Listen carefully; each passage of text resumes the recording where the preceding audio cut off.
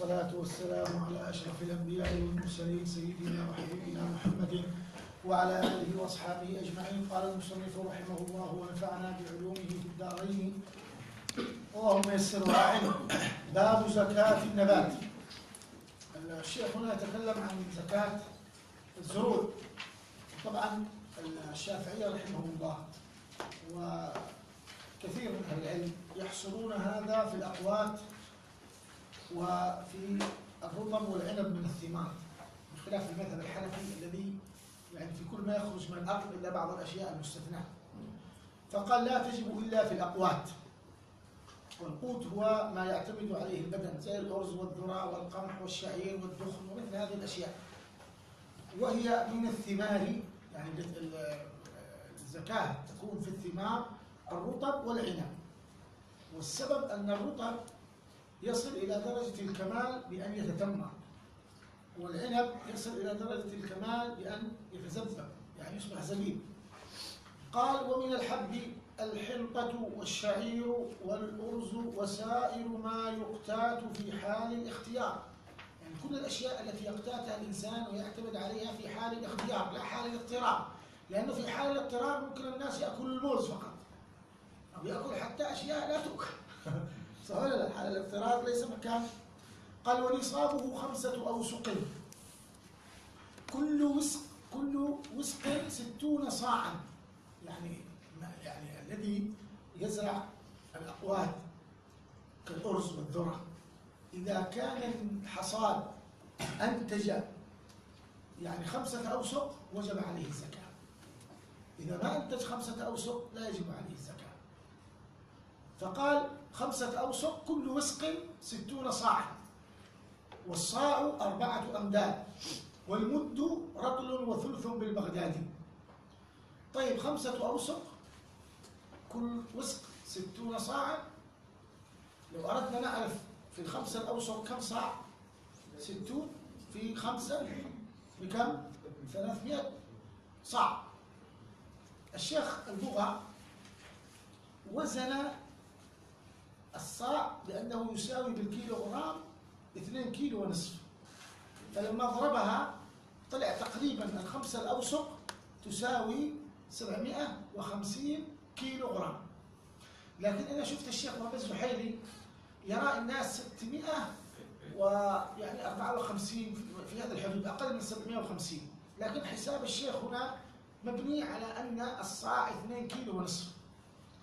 وفي ناس يحتاطوا في الصاع يجعلوا 3 كيلو احتياطا لكن هو احتياط زائد حقيقة.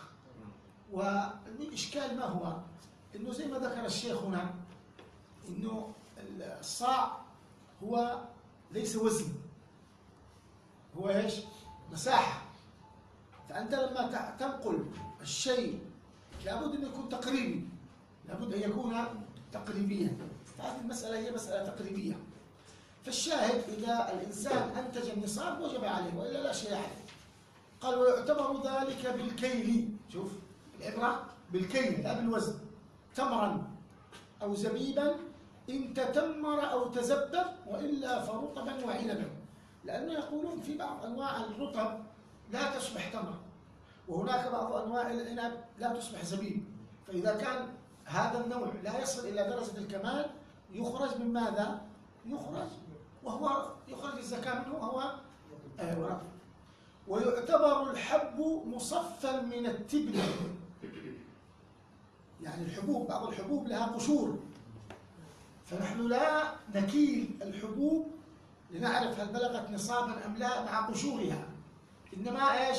نستخرج القشرة. فالحب المصفى الذي زالت قشرته إذا بلغ 750 كيلو على ما ذكر الشيخ هنا في الخمسة الأوسط وجبت الزكاة وإلا لا. لكن قالوا إذا كانت هناك بعض الحبوب لا يستغنى عن قشرتها وإلا فسدت في هذه الحالة يصير مش خمسة أوسط عشرة أوسط النصاب يضاعف يضاعف من أجل وجود هذه القشرة. قال ولا يكمل ولا يكمل جنس بجنس وتضم الأنواع بعضها إلى بعض. يعني رجل زرع قمحا وذرة وأرزا. فمثلا الأرز طلع 300 كيلو والقمح 300 كيلو والذرة 300 كيلو مثلا. ما نضم هذا إلى هذا لا يجب عليه الزكاة لأن كل واحد من هذه أجناس مستقلة. لكن لو كان زرع أنواع من الأرز كل أرز لكن أنواع أرز طويل أرز قصير أرز عريض أرز أبيض أرز أسمر مثلا. هذا كله أنواع يضم بعضه إلى بعض. فإذا كان هنا 300 كيلو وهنا 300 كيلو هنا كلها تضم. إذا بلغت النصاب وجبت عليه الزكاة. لذلك تضم الأنواع بعضها إلى بعض. والعلس إلى الحنطة. العلس حب الراجح أنه من الحنطة. فلذلك يضم إيش؟ إليه. أو هو يشبهه فضم إليه. قال ويخرج من كل بقسطه إن سهل وإلا أخرج من الوسط. يعني يا إخواني لو إنسان عنده تمر وعنده أشجار تنتج مثلا التمر العجوة ونخيل أخرى تنتج نوع وسط ونخيل تنتج نوع ردي مثلا لو قلنا الثلث الثلث الثلث وأراد أن يخرج إيش؟ الزكاة. طبعا هو سيخرج العشر أو أو نصف العشر حسب المسقية أو فيحاول قدر الإمكان أن ما يخرج ما يخرجه يكون بالقسط. فثلث الخارج من الجيد وثلثه من الوسط وثلثه من الرديء. لكن لو كان الأرز مثلا أنواع كثيرة بين عالي وبين داني لا يستطيع أن يخرج كل شيء بقسطه ففي هذه الحالة يرى الأرز الوسط. يخرج من الوسط. لا يكلف الإخراج من العالي جدا ولا من الرديء قال ولا يضم ثمر عام إلى ثمر عام آخر وكذلك الزرع. ويضم ثمر العام وزرعه بعضه إلى بعض. مثلا في رجل في العام الماضي أنتجت مزرعته 500 كيلو من الأرز. في السنة هذه أنتجت 500 كيلو من الأرز. لا يجب عليه الزكاة. يعني لا يقول والله العام الماضي أخرجت أنا 500 كيلو والآن 500 كيلو أزكي. لا كل سنة مستقلة. لكن لو أن له مزارع يختلف إنتاجها لجنس واحد كأن كان مثلا مزرعته التي بالأرز تنتج أكثر من مرة. ففي أول في الموسم الأول في نفس العام أخرجت ماذا؟ 300 كيلو. ثم أخرجت 500 كيلو لما يخرج ال 500 كيلو هذه يزكي الجميع. يعني الثمار في عام واحد يضم بعضها إلى بعض. والزرع في العام الواحد يضم بعضه إلى بعض. لكن زرع عام لا يضم إلى عام وكذلك ثمر عام لا يضم إلى عام. قال فصل وواجب ما شرب بغير مؤونة العشر وما سقي بمؤونة كالنواضح نصف العشر وما سقي بهما سواء أو أشكل ثلاثة أرباعه وإلا فقسطه إنسان عنده نخيل النخيل هذه تعتمد على مطر السماء. أو نخيل لها عروق بجوار نهر تشرب لا يحتاج هو إلى أن يسقيها. إذا هو يحصل على الماء من غير كلفة من غير مؤونة. ففي هذه الحالة نقول له أخي أنت تخرج العشر تخرج إيش؟ العشر لماذا؟ لأنه هو ما تكلف لكن لو كان يحتاج إلى إبل تخرج الماء أو موتور يدفع فيه كهرباء أو يدفع فيه ديزل أو حتى يدفع رسوم للدولة قيمة الماء فهو إذا حصل على الماء بمؤونة ولذلك خفف الشارع عليه أنه يخرج نصف العشر يخرج إيش؟ نصف العشر. طيب لو كان مرة يسقي ومرة في أمطار لا يحتاج إلى السقيا وكان ست مثلا مدة الزرع مثلا يعني ستة أشهر ثلاثة أشهر كذا وثلاثة أشهر كذا ففي هذه الحالة يخرج ثلاثة أرباع العشر. يخرج ثلاثة أرباع العشر. وإلا إذا كان ثلث وثلثين يحسب هكذا بالقسط. يحسب بالقسط. يعني على حسب الاعتماد وطبعا هنا في خلاف في المطولات. ما هو المقصود؟ هل هو عدد السقيات أو انتفاع الثمرة والزرع بالماء؟ لأن بعضهم قال نحن إذا كان مثلا هو يسقي ستة أشهر أربعة أشهر ويعتمد على المطر في شهرين. واضح؟ أربعة وشهرين يعني معناه ثلثين مقابل ثلث صح؟ فأنت الآن تحسب نسبة ثلثين مقابل ثلث لكن الإشكال إيش هو؟ ما هو الإشكال؟ الإشكال إنه أحيانا الشهرين التي اعتمد فيها على المطر أنفع للثمرة من الأربعة التي اعتمد فيها للسقيا فهناك قول عندنا ليس العبرة بعدد السقيا السقيات. العبرة بما هو الأنفع للثمر وما هو الأنفع للزرع. واضح؟ فهذا هو وجه إيش؟ الخلاف بين القولين. قال ولا تجب إلا ببدو الصلاح في الثمر واشتداد الحب في الزرع. يعني لا تجب الزكاة إلا عندما يبدأ الصلاح في الثمر يعني كيف يعني العنب يسود. واضح؟ ويظهر ماؤه كذا. ما يكون لسه قاسي. وأيضا التمر يحمر يصفر تمام؟ واشتداد الحب في الزرع لأنه الحب في أول امره يكون إيش؟ لين. حتى لو مسكته كذا يخرج زي اللبن منه هذا لسه ما يأمن العاهه فلا تجب الزكاة إلا بعد بدو الصلاح. لا يشترط في كل الثمار ولو في بعضها لأنها في الغالب يتلاحق صلاحها. ويسن خرص الثمر على مالكه. طبعا يا جماعة إحنا قلنا أن العنب والتمر واضح؟ يعني يخرج متى؟ عندما يتت... الرطب والعنب عندما يصبح تمرا أو يصبح زبيبا. لكن مش معقول الناس تريد تستفيد يريدوا يأكلوا من العنب يريدوا يأكلوا من الرطب. ولذلك الشارع جعل شيء اسمه الخرص. ما هو الخرص؟ رجل خبير ب يعني تمر أو خبير بالعنب خبير بهذه الأمور ينظر في النخيل أو في الأشجار ويخمن يعني ما يغلب على ظنه أنه ينتج ينتج من هذه الأشجار كذا كذا مثلا كيل كذا كذا من الكيل ومثلا نظر نظر في المزارع وقدر فقال والله يخرج من هذا ما يقارب ثلاثين وسقة ثلاثين وسقة ويسن له طبعا أن ينقص حدود الثلث أو الربع. هذا تقدير لأن في أشياء تؤكل من الطيور وأشياء تسقط وأشياء تسقطها الريح وغير ذلك. ثم بعد ذلك يقول له أنا خرست لك كذا. يقول قبلت. حين هذا حق الفقراء ينتقل من كونه في عين الثمرة إلى ذمة المالك. فيجوز لهذا المالك أن يتصرف في التمر والزبيب كيف شاء ويضمن حق الفقراء في ذمته. هذا هو الخرص. هذا هو الخرص. وحتى يعني لما مشى النبي إلى تبوك مروا على مزرعة لامرأة فخرس النبي صلى الله عليه وسلم ثم لما عاد وجدوها حصدت ما خرسه رسول الله صلى الله عليه وسلم باليقين. لكن غير النبي صلى الله عليه وسلم طبعا المسألة مبنية على الظن.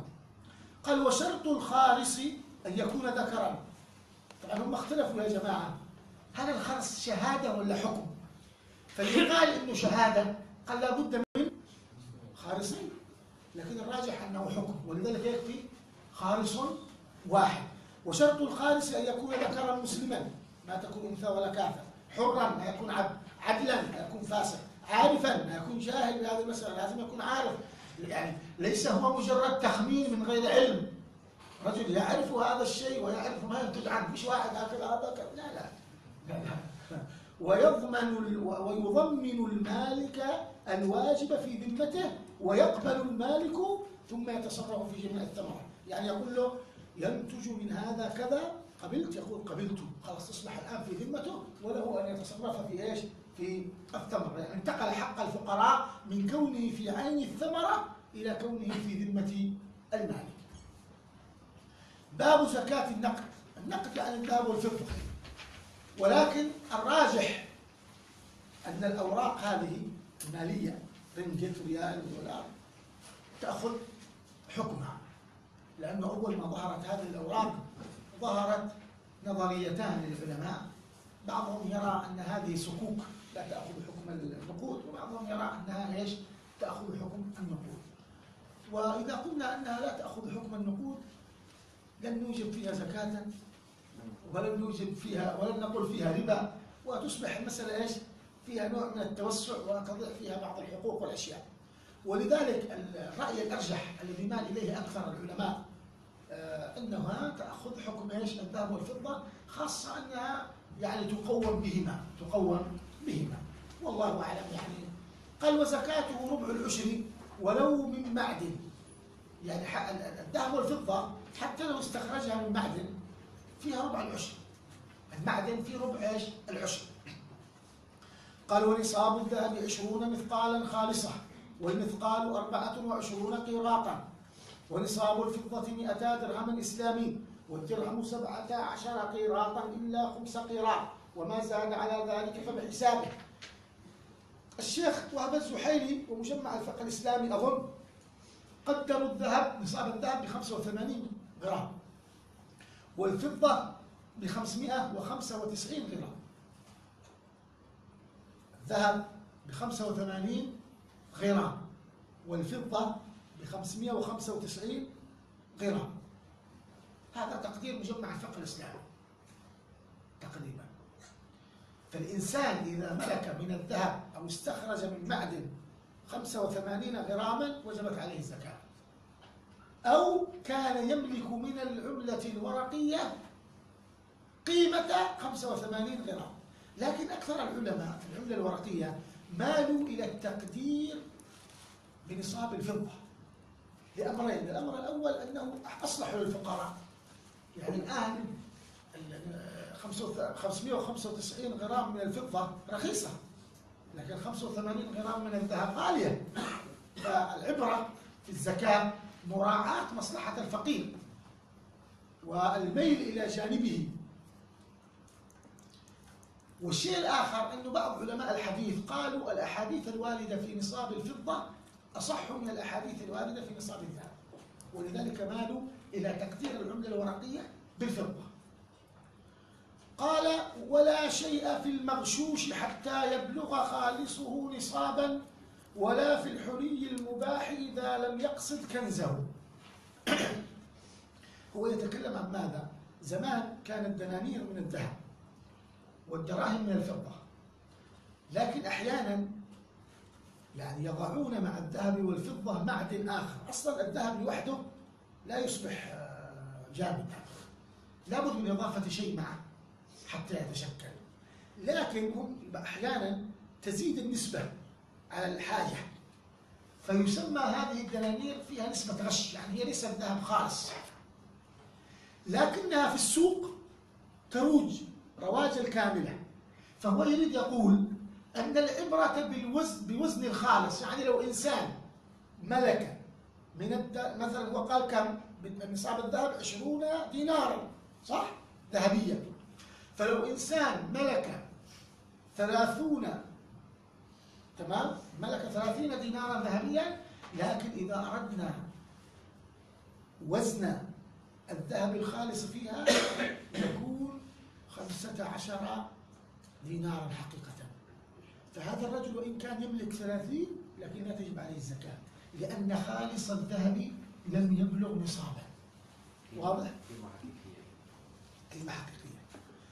ولا في الحلي المباح إذا لم يقصد كنزه. يعني امرأة عندها حلي تلبسها وكذا أو رجل من أجل يؤجر هذا الذهب أو من أجل أنه يعني يغيره لا يلبسه هو هذا مباح فليس فيه زكاة.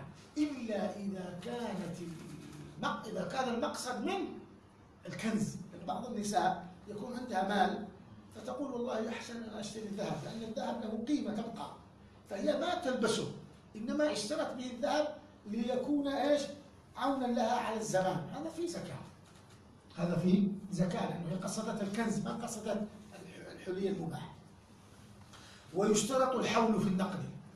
يعني إذا الآن إذا إذا ملكت الآن طبعا إذا ملكت الآن مثلا سبعين آه مثلا نقول ملكت مثلا 700 آه، غرام من أو سبعة كيلو من الذهب الآن.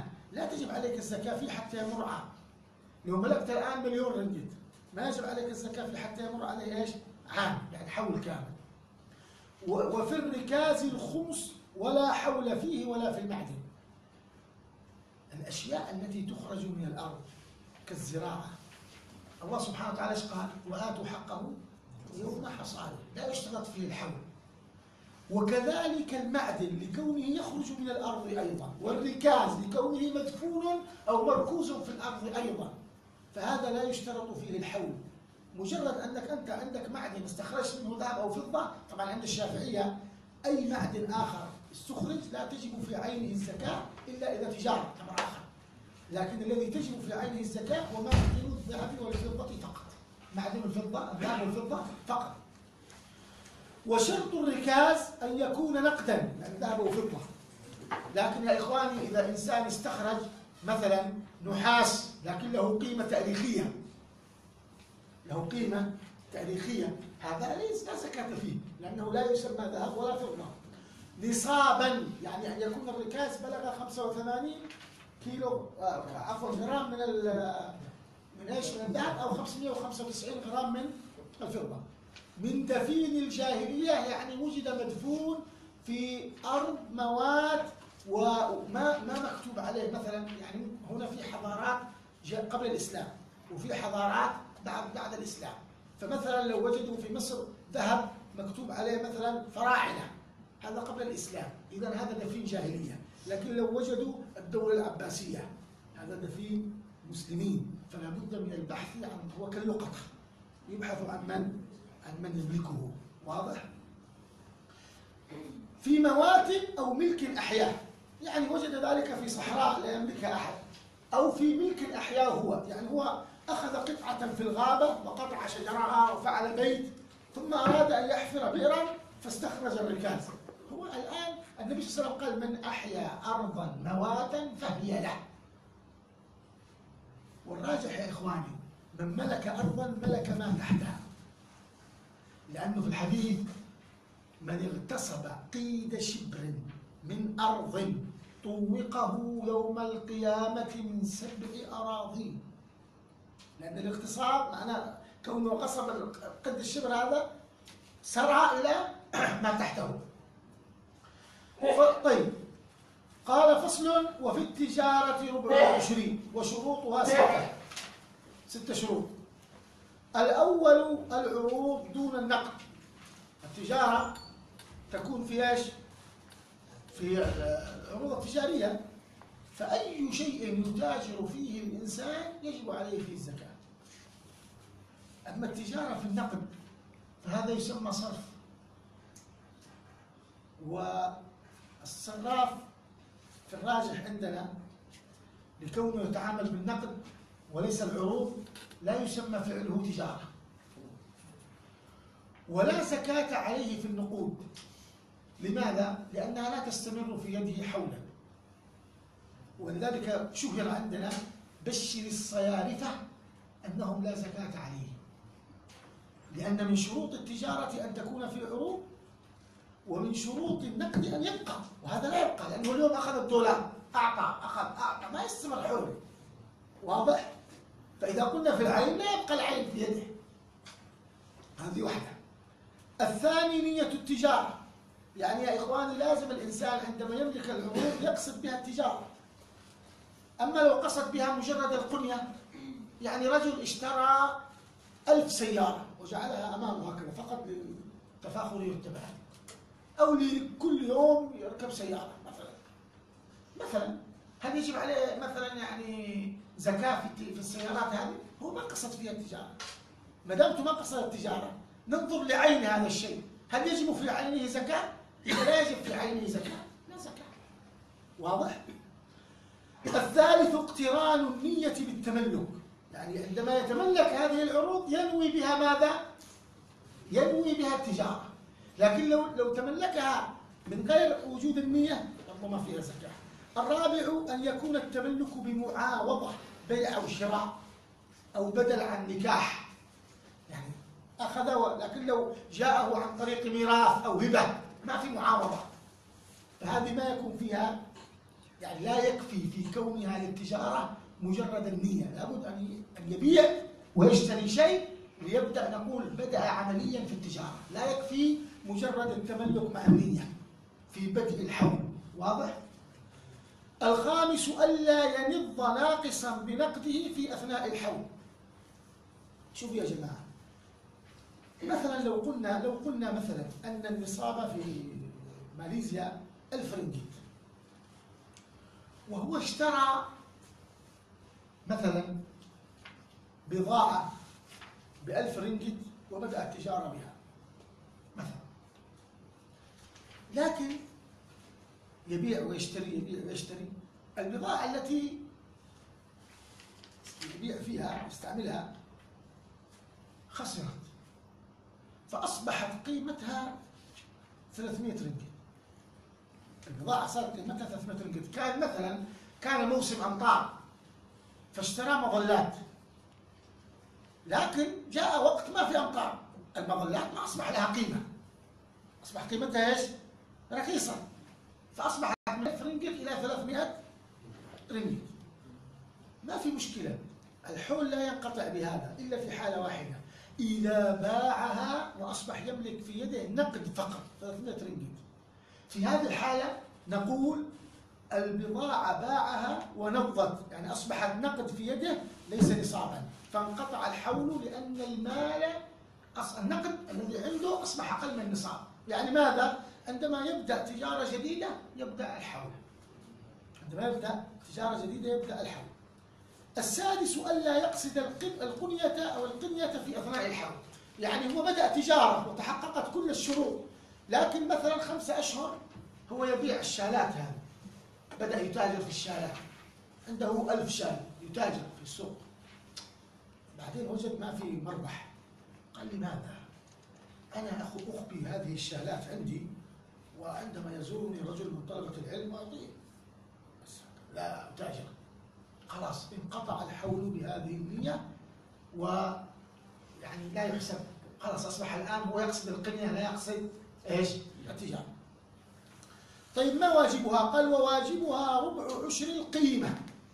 شوفوا يا جماعة الرجل هذا بدأ التجارة مثلا في شهر محرم أول العام الهجري أو في أول شهر رمضان. بعد سنة حول كامل نقول له كم عندك من الربح؟ قال والله أنا ربحت من هذا المال مئة ألف رنجت. طيب عندك بضاعة؟ قال نعم عندي بضاعة كثيرة ما زالت موجودة. كم قيمتها اليوم في السوق؟ قوم قال 200 رنجت. إذا زكي 300 رنجت. كم تزكي؟ 300 رنجت. واضح؟ يخرج 300 رنجت يعني ربع العشر. ربع العشر. يخرج ربع عشرها. طبعا يعني معناه يا جماعة لا يجوز أن يخرج من البضاعة. لو كان يتاجر في الحقائب أو القماش لا يجوز عند جمهور أهل العلم أن يخرج ربع العشر من نفس العروض. لا إنما من القيمة. إنما من القيمة. إلا عند الحنفية طبعا. إلا عند الحنفية. ويقوم بجنس رأس المال أو بنقد البلد إن ملكه بعرض. إيش معنى هذا؟ يعني يا جماعة نسأله في آخر الحول البضاعة هذه أنت اشتريتها؟ قال والله أنا اشتريتها من الصين بالدولار. إذا يقومها سعرها بالدولار الآن. لكن تخيلوا هو قال أنا ما اشتريتها بيبان لماذا اشتريتها؟ طيب. قال والله أنا أتاجر أصلا في القمح. وكان عندي يعني طن من القمح. فجاء تاجر قال أنا أحتاج الطن من القمح لكن ليس عندي عملة. لكن سأعطيك مقابل هذا مثلا أربعون سيارة جديدة. فاتفقنا على هذا البيع. هذا بيع. إذا تجارة السيارات هذه أو تجارة القمح يقوم في آخر الحول بماذا؟ ها؟ بعملة البلد. بعملة البلد. يقوم بنقد البلد. بنقد البلد. لو كان في البلد اللي هو فيها أكثر من عملة رائجة كلها رائجة يشوف الأصلح للفقير. لأنه مثلا بعض البلاد الآن زي المملكة المتحدة. فيها اليورو وفيها الجنيه إيش؟ هذا شغال وهذا شغال. يشوفوا الأصلح للفقير. إلا إذا كان أحدهما أكثر رواجا فينظر إلى الرائج. ولا يشترط كونه نصابا إلا في آخر الحول. يعني التجارة لا يشترط فيها أن يبدأ الإنسان يعني ممكن الإنسان يبدأ تجارته اليوم ب 300 رنجت لكن في آخر العام يصبح عنده 5000 أو 10000 رنجت فيجب عليه الزكاة. العبرة أنه في آخر العام يكون مالك للنصاب. لا يشترط أن يكون في أول الحول ولا في أثناء الحول مالكا للنصاب. فصل بعد أن انتهى من زكاة الأموال تكلم عن زكاة البدن زكاة الفطر. قال وتجب زكاة الفطر بشروط إدراك غروب الشمس ليلة العيد. واضح؟ يعني الإنسان الذي يموت قبل ذلك لا زكاة عليه ومن ولد بعد ذلك لا زكاة عليه. وأن يكون مسلما. الكافر ما تجب عليه الزكاة. إلا في حالة واحدة. إذا في واحد كافر ومثلا هو كافر وأسلم والده ووالدته. تمام؟ ففي هذه الحالة يجب عليه أن ينفق عليهما فيخرج هو زكاتهما يخرج هو زكاته. وأن يكون ما يخرجه فاضلا عن مؤونته ومؤونة من تجب عليه مؤونته ليلة العيد ويومه وعن دست ثوب يليق به ومسكن وخادم يحتاج إليه. يعني زكاة الفطر هذه ليست واجبة. على الشخص هكذا. لا. نقول له أولا المال الذي عندك. أخرج منه ما تحتاجه لمؤونة ليلة العيد ويوم العيد وما تحتاجه لشراء ثياب ثياب تليق بك. يعني مثلا الإنسان يحتاج إلى ملابس داخلية بعدين ملابس ظاهرة إلى شيء يعني يلبسه هو. إذا كان عالم يحتاج عمامة يحتاج جبة شال. كل إنسان بما يليق به وبحاله وبوضعه. فيحسب كل هذا. وأيضا إذا كان يحتاج إيجار بيت وإنسان يخدمه كل هذا يحسب في ماله. فإن بقي شيء فاضل تخرج منه الزكاة أخرج منه إيش؟ الزكاة. واضح؟ أما إذا ما ما بقي شيء ما يجب عليه الزكاة. قال وتجب عمن في نفقته من المسلمين من زوجة وولد ووالد ومملوك. طبعا يا جماعة النفقة على الزوجة واجبة حتى لو كانت الزوجة غنية. يعني لو في رجل تزوج بنت السلطان من السلاطين هي غنية جدا. حتى لو كان سلطان يجب عليك أن تنفق عليها. لكن أبوك وأمك وجدك وجدتك أصولك لا يجب عليك أن تنفق عليهما إلا إذا كان فقراء. لكن أمك هذه إذا كانت ورثت من أبوك مبلغ كبير من المال وهي غير محتاجة لا يجب عليك أن تنفق عليها. إلا إذا كانت إيش؟ يعني. لكن الولد كذلك لا تجب عليه إلا إذا كان فقيرا مع الصغر أو فقيرا مع كونه مريضا. لا يستطيع العمل عنده مرض يعني يعيق عمله. هذا بالنسبة للفرع ولدك وبنتك وابن بنتك وهكذا. لكن مثلا ولا الفروع الأصول يجب إذا كان يستطيع أن يكتسب ولكن ليس عنده مال لا يكلف الاكتساب. لا يكلف الاكتساب لأن الأصل له فرع له حق على الإنسان. الأب ما يكلف يعني مثلا أبوك فقير لكن هو يستطيع العمل. لا تقل له اعمل أو نكلفه بالعمل بما أنه لا يملك مالا يجب عليك أن تنفق عليه. لكن الولد إذا ولدك يستطيع العمل ما عنده مال لا ما دامته يستطيع الكسب لا يجب عليك أن تنفق عليه. واضح؟ هذا إذا كان بالغا.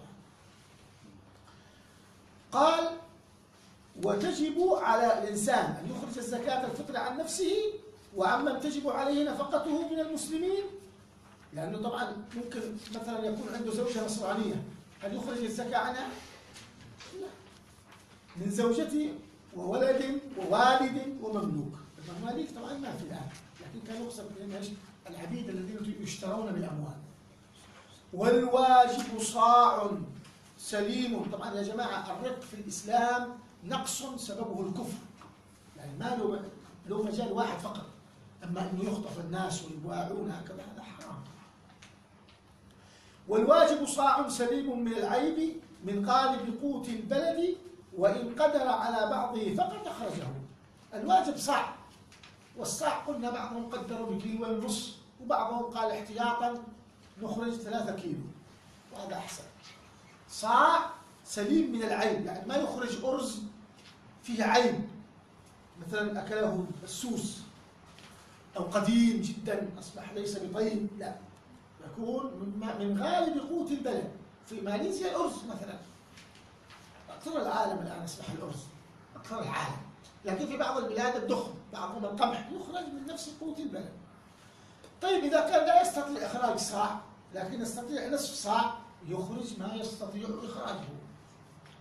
قال ويجوز إخراجها في رمضان. زكاة الفطر عندنا في المذهب الشافعي هي تجب بليلة العيد غروب شمس آخر يوم من رمضان. لكن يجوز إخراجها من أول الشهر. يجوز إخراجها من أول الشهر. ويسن قبل صلاة العيد. ويحرم تأخيرها عن يومه. يعني السنة أن تخرج قبل صلاة العيد. لأن المقصود من زكاة الفطر أنها طهرة للصائم إذا صيامه فيه نوع من الخلل تجبره وأيضا أنه كما قال النبي صلى الله عليه وسلم اغنوهم عن السؤال في هذا اليوم. اغنوهم عن السؤال في هذا اليوم.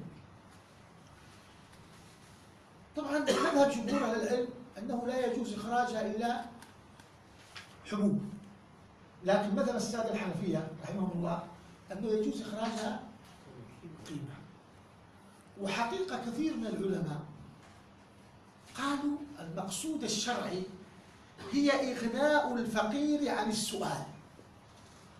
في ذاك الزمان كانت المشكلة مشكلة الفقير في القوت. ولذلك الشارع جعل زكاة الفطر في الأقوات. لكن الآن مشكلة الفقير وحاجة الفقير ليست في الأقوات. الأرز موجود لكن هو يحتاج إلى أشياء أخرى أقرب إلى الكماليات من كونها إلى الضروريات أو الحاجيات أقرب إلى الحاجيات من كونها إلى الضروريات. ولذلك كثير من العلماء قالوا أن مذهب الحنفية أقرب لمقصد الشارع فأفتوا به. مذهب الحنفية هنا أقرب لمقصد الشارع وأنا رأيت مثلا في السعودية ال ال ال كل الناس يعطون الفقير الأرز فيمتلئ بيته أرز. لكن هو يحتاج أشياء أخرى فيضطر إلى بيع الأرز بقيمة النصف. نصف. واضح؟ بل بعض الناس في السوق يتفق مع بعض الفقراء يسوق هكذا وهو يبيع الأرز. فتأتي أنت تأخذ وتعطي للفقير. أنت لما تمشي تبيع له بالنصف وهذا يمكن بهذه الطريقة. وهذا يعني نوع من أنواع إيش؟ ضرر الفقير. عدم انتفاع الفقير. فمن من الله عليه؟ من من الله عليه بمال؟ فليعطي الفقير حبوبا ويضيف إليها شيئا يقضي حاجته من باب الصدقة. وإذا أراد الأخذ بمذهب الحنفية فالأمر واسع. فالأمر واسع ومقصد الشرع أصبح يتحقق بهذا أكثر من غيره. ولذلك هم يقولون أحيانا من الأشياء التي ترجح من آراء العلماء مراعاة مقصد الشريعة. مراعاة مقصد الشريعة. جزاهم الله خير جميعا. قال ويحرم تأخيرها عن يومه. يعني يا جماعة بعض المذاهب إذا صليت العيد ولم تخرج الزكاة خلاص ذهب وقتها. عندنا يوم العيد كله وقت لها. لكن يكون لم يطبق السنة. ولذلك الأفضل أن يخرجها قبل صلاة العيد. وإذا كان الإنسان ينسى ممكن يقدمها يعني ليلة العيد أو قبل ذلك إذا كان ينسى يخاف ينسى. فصل. وتجب النية فينوي هذه زكاة مالي ونحو ذلك. ويجوز تعجيلها قبل الحول. وتجب النية طبعا يا جماعة بعض الناس مثلا يكون عنده مال في الزكاة ويكون ماشي فيجد فقير يسأله فيخرج له 100 رنجت مثلا. هكذا. لم ينوي شيئا أو نوى الصدقة. ثم يتذكر أن عليه هذه زكاة لا ما يصلح. لابد أنه لما يعطيه يكون أعطاها بهذه النية. واضح؟ ويجوز تعجيلها قبل الحول. الزكاة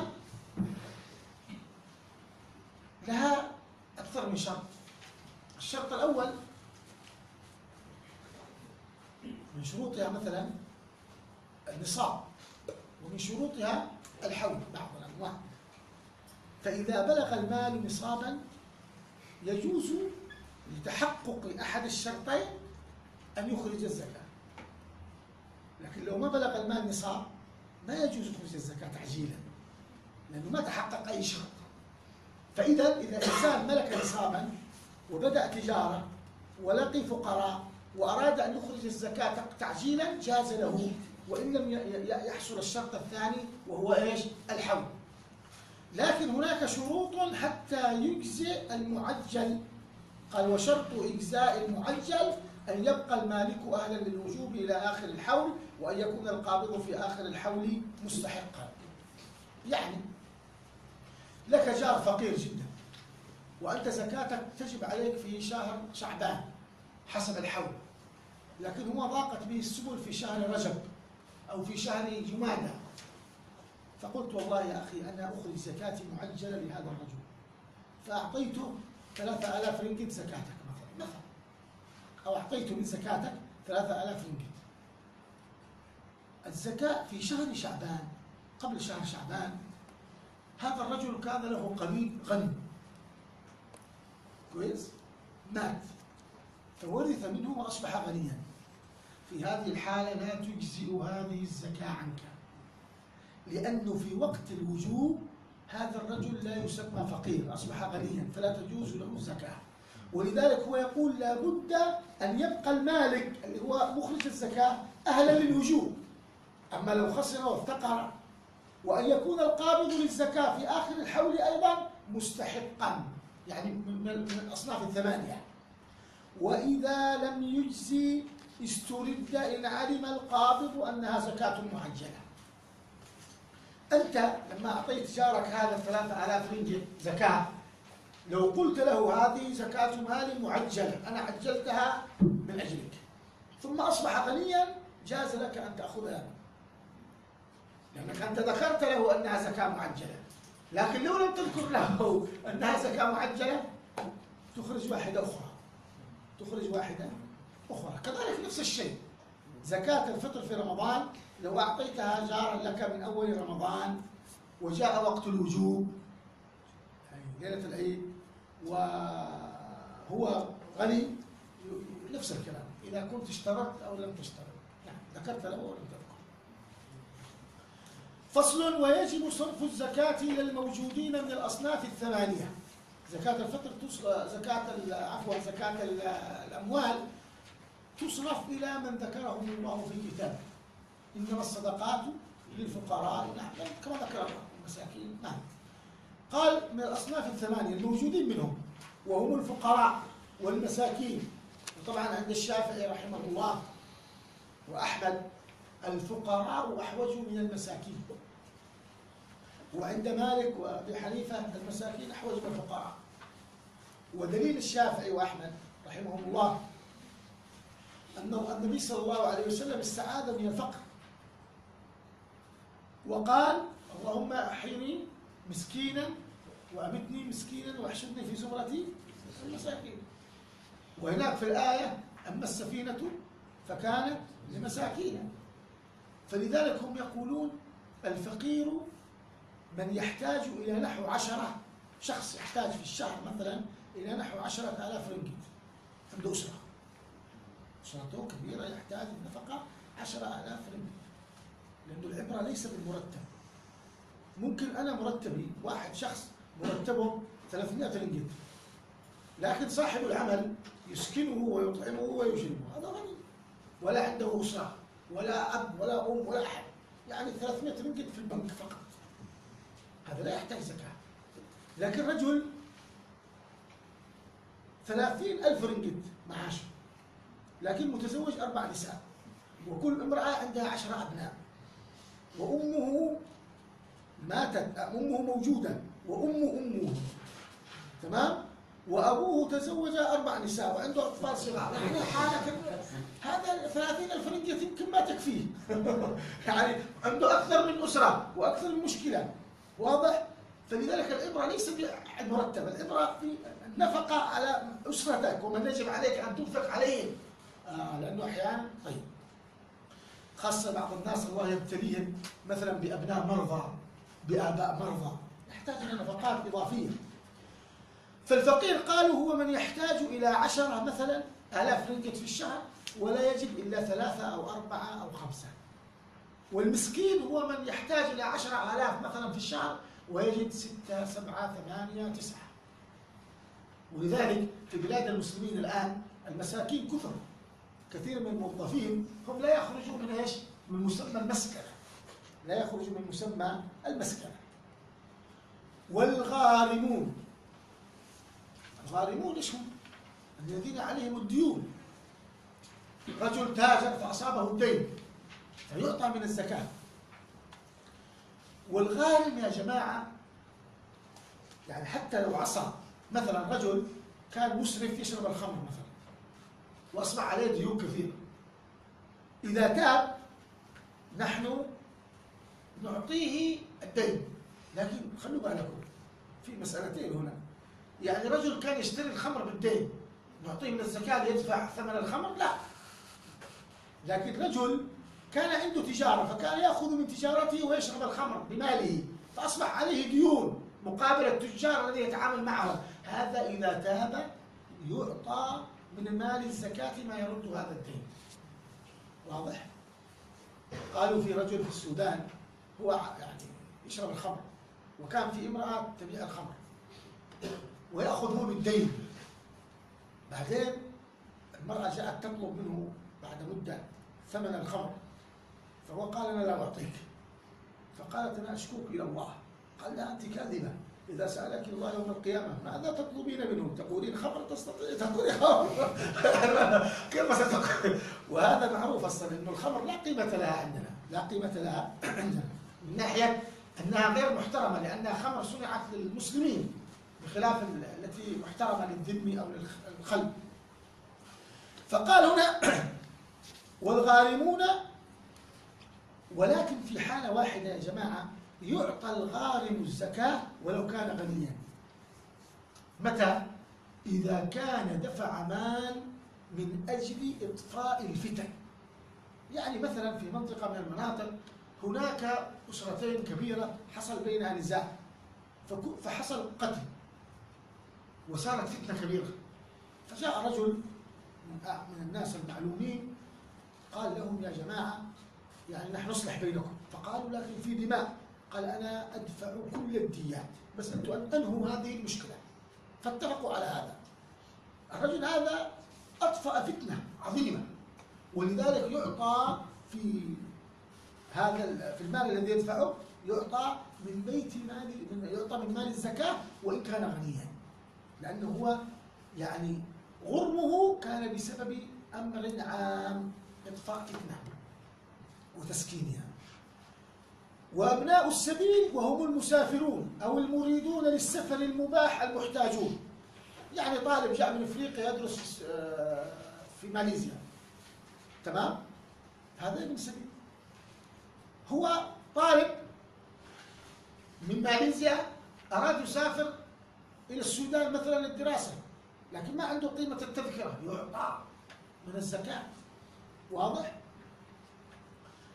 طبعا زمان زمان الفقهاء كانوا يقولون ولو كان غنيا ولا مال له في البلد. يعني مثلا زمان لو أن رجل من أغنياء الصين جاء إلى مكة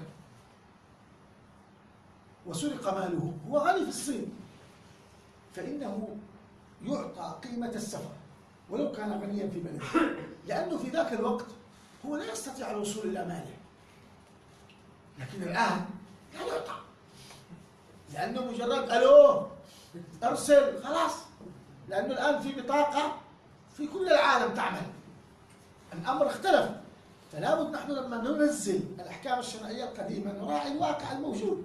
أصبح هذه لا حاجة لها. ولأن يعني سيدنا عمر بن الخطاب رضي الله عنه لما وجد قال الآن نحن لا نحتاج إلى أن نعطي الزكاة للمؤلفة قلوبهم. ليه؟ لأنه قال الآن الإسلام في عزة. فأحيانا تختلف الفتوى باختلاف ولذلك مثلا موسى بن عجيل موسى بن عجيل هذا من أئمة الشافعية الكبار وعنده اختيارات في المذهب الشافعي. قال هناك يعني ثلاث مسائل يفتى بها في مذهب الشافعية على خلاف المعتمد. قال مثلا إنه كما ذكر الشيخ هنا لابد أن تصرف الزكاة إلى الموجودين من الاصناف الثمانية. أنا زكاتي كلها 300 رنجت إذا أعطيتها في الأصناف الثمانية وكل صنف لابد ثلاثة سيكون كم؟ عشرة عشرة عشرة عشرة. ما يحصل المقصود. فأجازوا أن هذه 300 رنجت تعطى لشخص واحد. أيضا مسألة نقل الزكاة. عندنا في المذهب ما يجوز نقل الزكاة. ما يجوز هو حقيقة يا جماعة. هذا في النبي صلى الله عليه وسلم إيش قال؟ صدقة تؤخذ من أغنيائهم وترد. لأنه في بعض الجمعيات الخيرية مرات في دول الخليج يكون في مثلا زي بورما بعض البلاد يأخذ الزكوات من أجل مصالح المسلمين في تلك البلاد. جزاهم الله خير. لكن مرات يهمل فقير البلد. يهمل فقير البلد. شيخنا الشيخ سعد مراد قال أنه في مذهب الحنفية يجوز نقل الزكاة في مسائل. من المسائل التي يجوز فيها نقل الزكاة أن يكون قرابة. يعني رجل أندلسي يعمل في ماليزيا وله قرابة في اندونيسيا يعطيه واضح. أو طلبة علم. أو الحال هناك أحوج. الحال هناك أحوج. شيخنا الله يرحمه الشيخ الناخبي كان يرى أن المذهب ما يجوز نقل الزكاة. قال ولكن إذا كان هناك حاجة ينقل ثلث زكاته. ثلث زكاته فقط. ما يزيد عليها. يخرج ثلث زكاته. هذا من باب الاجتهاد يعني. لأنه موسى بن عجين قال الفتوى على جواز نقل الزكاة عند الحاجة. وإن كان المذهب لا يجوز النقل إلا إذا اغتنى أهل البلد. إلا إذا اغتنى أهل البلد وحتى قلت لكم الشافعية من تشددهم قالوا في البلد المصورة لا يجوز نقل الزكاة خارج السوق. حتى يكتفي وهذا ملحظ شرعي. لأنه قلت لك أحيانا يهتم بقضايا بعيدة ويترك أهل البلد. وأحيانا يا إخواني كثير من الأموال التي تذهب عن طريق الجمعيات الخيرية لا تصل كاملة بل قد لا يصل منها شيء. لأنه قد يكون في لصوص هنا ولصوص في الطريق ولصوص هناك. صحيح؟ حاصل ما حاصل؟ وأحيانا بعض الجمعيات الخيرية عندهم سعة في يعني ما عندهم ذمة. فكثير من الأموال الزكاة يوظفونها في الأمور الإدارية. يوظفونها في الأمور الإدارية. وهذا مسائل تحتاج إلى تروي و يعني والله يمكن ما هنا في البلاد هذه أنتم ملتزمين بالمذهب لكن يعني في بلاد العرب الآن لا يلتزمون بالمذهب وهناك علماء جزاهم الله خير مجتهدين ويعني فضلاء ألفوا كتب في مسألة الزكاة وذكروا آراء خارج المذاهب الإسلامية واضح؟ وفي بعض الأقوال التي قالوها متعلقة ببيئات معينة لكن في بعض البلاد الفقيرة مثلا في السودان يأخذون الزكاة على المرتبات. وكل الناس فقراء ومساكين.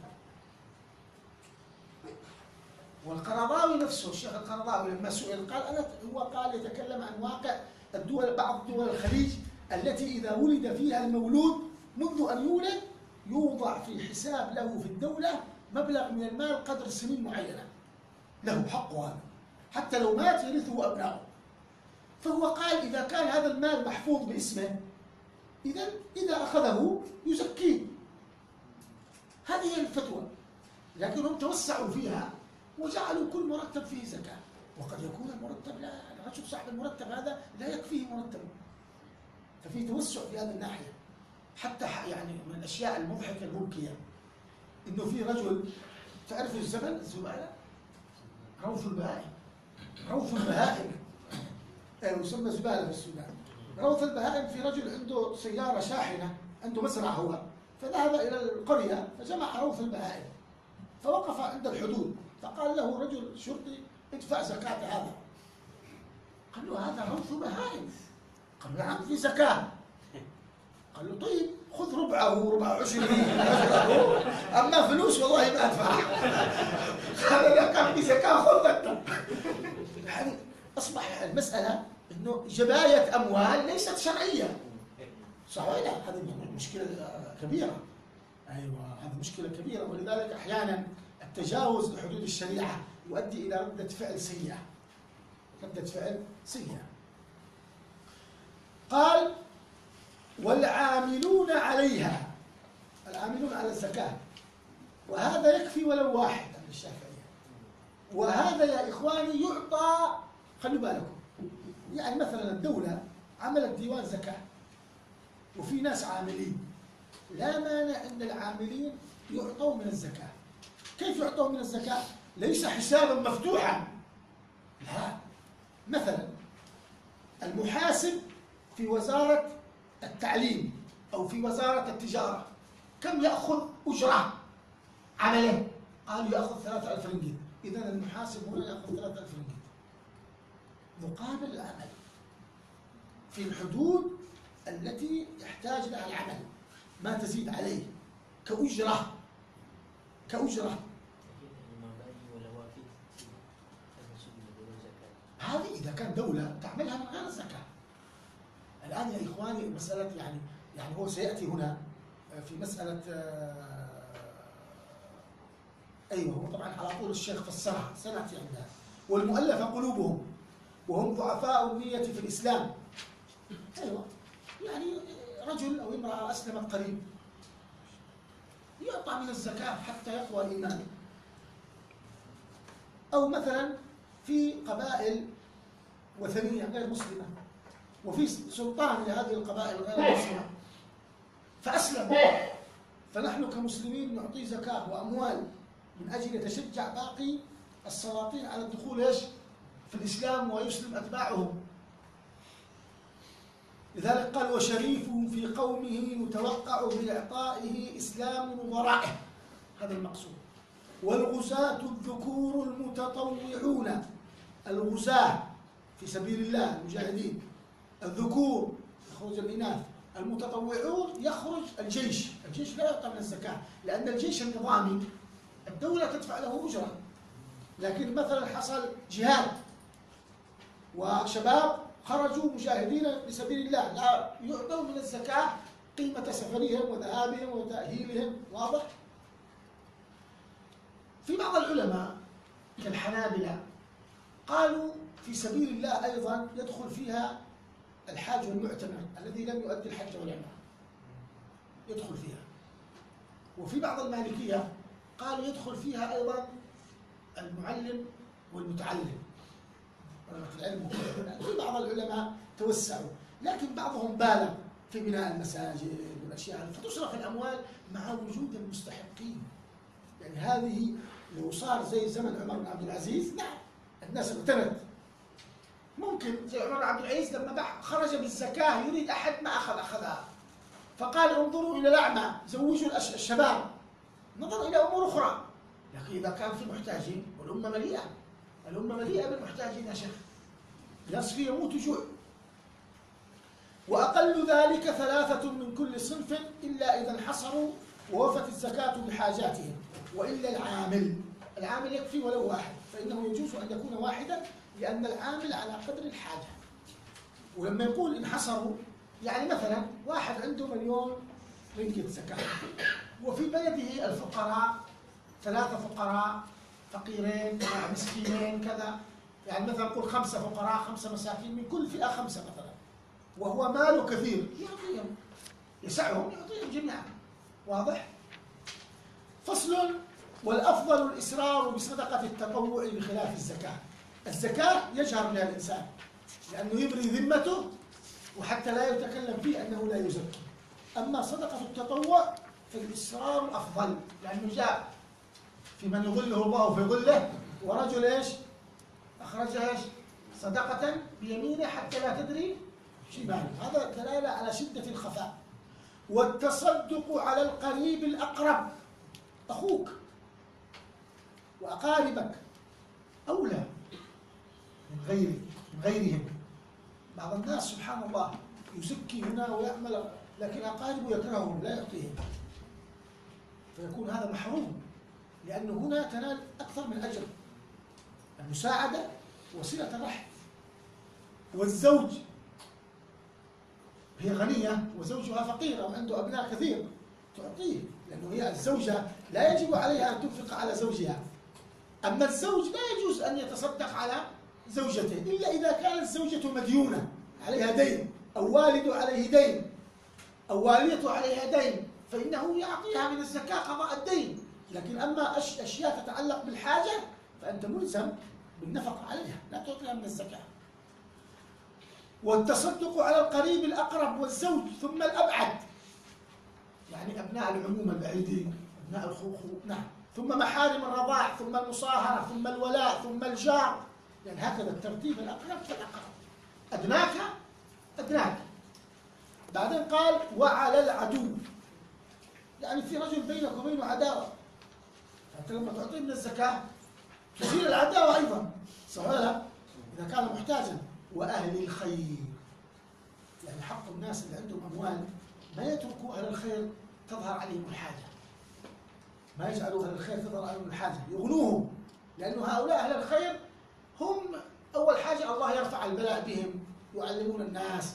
حتى لو رجل صالح يدعو فيكون سبب لرفع البلاء عن الناس. مثل هذا والمحتاجين. يعني كلما كان المحتاج أكثر يقدم. وفي الأزمنة الفاضلة كالجمعة يوم الجمعة وليلة القدر وفي رمضان هذه أولى من غيرها ليلة النصف من شعبان. والأماكن الفاضلة يعني الإنسان يذهب إلى مكة إلى المدينة في الحج. يعني هذا برضو أماكن تتضاعف فيها الأعمال. وعند الأمور المهمة كالغزو والكسوف والمرض وفي الحج في الكسوف كانوا يأمرون بالعتاقة. عندك مريض. المريض هذا أنت لما تعطي الله سبحانه وتعالى يرفع البلاء بالعطاء وبدعاء المساكين. لأن هؤلاء الناس يدعون والله سبحانه وتعالى لفقرهم وحاجتهم يستجيب لهم في الغالب. وبما يحبه. مش يخرج الرديء. يخرج يزكي بالشيء الذي يحبه. إذا كان هو يحب طعام معين أو يتصدق بالشيء الذي يحب طعام معين فيخرج للناس من هذا الطعام الذي يحبه ليس النوع الردي. وأن يكون بطيب نفس وبشر يعني لما تعطي المسكين وأنت راضي فرحان أنه يقبل منك وأن هذا فضل الله وأن الله جعلك معطيا لا قابضا وأن يكون مستبشرا بهذا. قال ولا يحل التصدق بما يحتاج إليه من نفقته أو نفقة من عليه نفقته في يومه وليلته أو لدين لا يرجو له وفاء. يعني الإنسان إذا كان يريد يتصدق وهو عليه دين والدين هذا ما ما يجب له وفاء ما يجوز. لأنه أولا يؤدي الواجب عليه. وإذا كان هو أهل بيته ومن يجب عليه أن ينفق عليهم محتاجون وهو يريد يتصدق ويجعلهم في الحاجة لا يجوز له ذلك. لكن هذا في حدود اليوم والليلة. ويستحب بما فضل عن حاجته إذا لم يشق عليه الصبر على الضيق. سيدنا أبو بكر رضي الله عنه خرج من ماله عدة مرات. والنبي قبل منه ذلك لعلو إيمانه وصبر أهله. نصف فضلاء أسرة فاضلة لكن في واحد من الصحابة لما خرج من ماله النبي صلى الله عليه وسلم وبخه واكتفى بالثلث. لماذا؟ لأنه ليس له هذا الإيمان. يعني مثلا واحد اليوم يصيبه رقة في المسجد فيخرج عنده خمسة ألاف رنجة كلها يعطيها المساكين. بكرة؟ الله. ما عندي أكل كيف أعمل؟ صار ضيق. المشكلة. مثل هذا. لا لا يخرج يخرج على قدر استطاعته. لكن لو كان رجل صاحب إيمان لا مانع لا مانع من ذلك. كفى بالمرء إثما أن يضيع من يعول أن يضيع من يعول ويكره أن يأخذ صدقته ممن أخذ منه ببيع أو غيره. سيدنا عمر رضي الله تعالى عنه تصدق بفرس في سبيل الله. وطبعا لما يتصدق بفرس أصبح هذا الرجل صاحب الفرس ملك له. لكنه ماذا فعل؟ باعها في السوق. فرأى سيدنا عمر تباع. فظن أن صاحبها سيبيعها بسعر رخيص. فاستأذن النبي. قال له لا ترجع في صدقتك. لا ترجع في صدقتك. يعني أنت تصدقت أو أخرجت زكاة شاة. أو تصدقت مثلا بحصان لأحد مسكين. ثم وجدت الحصان يباع. الأفضل أن لا تشتريه يعني مكروه أن تفعل ذلك. ويحرم السؤال على الغني بمال أو حرفة. بعض الناس يسأل. إذا كان عنده مال يحرم. إذا كان ما يستطيع العمل يحرم. طالب العلم إذا كان يستطيع العمل وطلب العلم هل يعطى من الزكاة؟ يعطى من الزكاة. لكن العابد لو كان يستطيع العمل واقتصر على العبادة لا يعطى من الزكاة. لأن خير الم... يعني الخير الذي سيصيبه المتعلم سيعود على الأمة. لكن هذا خيره لنفسه خيره لنفسه. وهذا يدل على أن العلم الشرعي خاصة حتى فروض الكفاية في بعض المسائل هذه يعني زي ما يقول العلماء رحمهم الله تدل على اهتمام الشريعة بالعلم. والمن بالصدقة يحبطها يعني بعد أن يعطيه مثلا يعطيه في صورة هناك في الفيسبوك. هذا الحمد لله اليوم تصدقنا. كل أهل القرية هذا مسكين. يرون أنه أعطاه. وكذلك بعض الجمعيات الخيرية تبالغ في هذا. يصور اليتيم. يعني في كسر نفس. نحن حق نكرم هذا الفقير. ما في مانع أن يوثق أشياء بسيطة لكن أحيانا ينشغل بالتوثيق ولو أدى ذلك إلى كسر حال اليتيم وقلب اليتيم. هذا خطأ. أي حاجة يوثقوها. حتى أنا قلت لكم في أحد الجمعيات الخيرية يعني دخلت في مكان فيه صور فوجدتهم في ناس أسلموا جديد وعملوا مشروع ختان فصوروا مشروع الختان وهم يختنون هذا حرام. يعني في أشياء يفعلوها يعني لأنه إيش؟ مسك هذه الأمور أناس لا يعرفون الفقه. ولذلك تجاوزوا مجاوزات شديدة. وابتلاهم الله سبحانه وتعالى ابتلاهم الله بتسلط الحكام عليهم فأغلقوها. لأنه دخل فيها أشياء إيش؟ ليست صحيحة. وإن كان في خير عظيم منها. ولذلك الإنسان الذي يقوم على مال عام لا بد أولا أن يكون عالما بأحكام الشريعة. وفيما ينفق كل شيء. لا يتجاوز أحكام الشرع فيه وإلا تكون هذه مسؤوليته ويضمن أشياء كثيرة.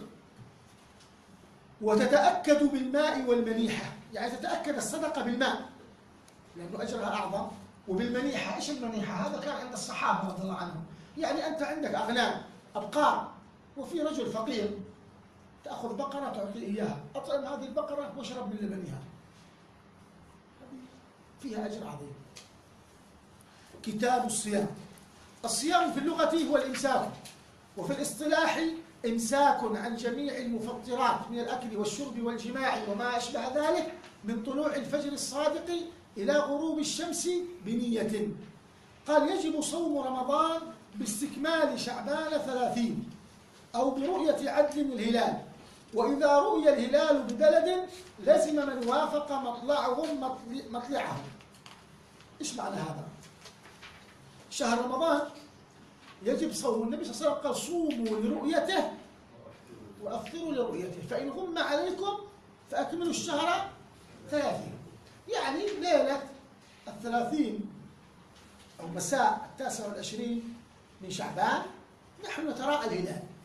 إن رأيناه إذا هو غدا أول رمضان. ما رأيناه معناه غدا إيش؟ ثلاثين شعبان. وهكذا في آخر رمضان بالنسبة لشوال وباقي الشهور إلا أنه في رمضان يكفي رؤية عدل واحد احتياطا للصيام. وباقي الشهور لابد من عدلين النبي صلى الله عليه وسلم ابن عمر رأى الهلال فأمر النبي صلى الله عليه وسلم بالصيام. أو برؤية عدل الهلال. طيب بعدين تكلم نحن عندنا في المذهب الشافعي عندنا المطالع. يعني في بعض المذاهب إذا رأى رجل في الصين الهلال وجب على باقي المسلمين الصوم. لكن عندنا المسألة المطالع. يعني المطالع يعني الراجح يعني بعضهم آه، يعني كأن الرافعي يرى أن المقصود بالاختلاف المطالع أنه إذا رؤي الهلال في هذه البلد مثلا هذه المدينة فكل من خرج مسافة القصر يعني بينها وبينه مسافة قصر لا يجب عليهم الصيام. لكن البلاد التي حولها بينهم أقل من مسافة القصر وجب عليهم الصيام. لكن كأن الإمام النووي رجح مسألة الإقليم أو من من من تطلع الشمس عندهم في وقت واحد وتغرب في وقت واحد أو متقاربة. فإذا رؤيا والمطلع واحد وجب عليهم أن يصوموا. وإلا وجب عليهم أن ينظروا ويصوموا وفق نظرهم. ولصحة الصوم شروط. الأول النية لكل يوم النية لكل يوم طبعا هذا هو عبر بالشروط لكن هو في الحقيقة النية إيش؟ ركن لأن النية لها كم ركن؟ يعني هو النية الصوم له كم ركن؟ النية والإمساك عن جميع المفطرات والصائم إنما قالوا الصائم لأن الصلاة ما قالوا المصلي لأن المصلي لها هيئة ممكن تتصور من غير إيش؟ وجود المصلي، لكن الصوم ما له هيئة تتصور إلا بوجود الصائم، هذه العلة، وإلا حقيقة الأركان هي نية وإمساك، نية وإمساك. فقال النية لكل يوم ويجب التبييت في الفرض دون النفل. طبعا يا جماعة في أحاديث عن النبي صلى الله عليه وسلم. يعني عند الإمام مالك التبييت واجب في الفرض والنفل. لكن هو يقول إذا كان الصوم واجبا متتابعا كفت نية في أوله. فرمضان تجب نية في أوله. لكن الإنسان إذا أراد أن يقلد ذلك لابد أن يعرف مسألة. أنه لو حاضت المرأة أو سافرت أثناء الصيام ولو لم تفطر ولو لم تفطر وجب عليك إعادة النية عند مالك. لأنه الوجوب أن يكون صوما متتابعا واجبا. فأنت إذا سافرت أصبح الصوم في حقك ليس واجبا فانقطع وهي إذا أفطرت للحيض انقطع التتابع فيلزم تجديد النية واضح؟ لكن عند الشافعي رحمه الله جمعوا بين الأدلة فقالوا لا صيام لمن إيش؟ لم يجمع الصيام من الليل يعني يعزم عليه هذا في الفرض أما إذا كان في النافلة فتجزئه نية قبل الزوال. نية قبل الزوال. لأن النبي صلى الله عليه وسلم جاء لبعض زوجاته فقال هل من غداء؟ قالوا لا. قال إني صائم. والغداء طعام يؤكل قبل الزوال. طعام يؤكل قبل الزوال. قال فتجب ويجب التبييت. يعني في الليل في الفرض دون النفل. فتجزئه يعني في النفل نيته قبل الزوال. ويجب التعيين أيضا دون الفرضية في الفرض. يعني يقول عندنا الصيام الواجب ما هو الصيام الواجب؟ صوم رمضان صوم قضاء رمضان صوم الكفارات صوم النذر. الصوم إذا أمر به الإمام. زي الكسوف. هذا يجب فيها التبيت غير ذلك لا يجب فيها التبيت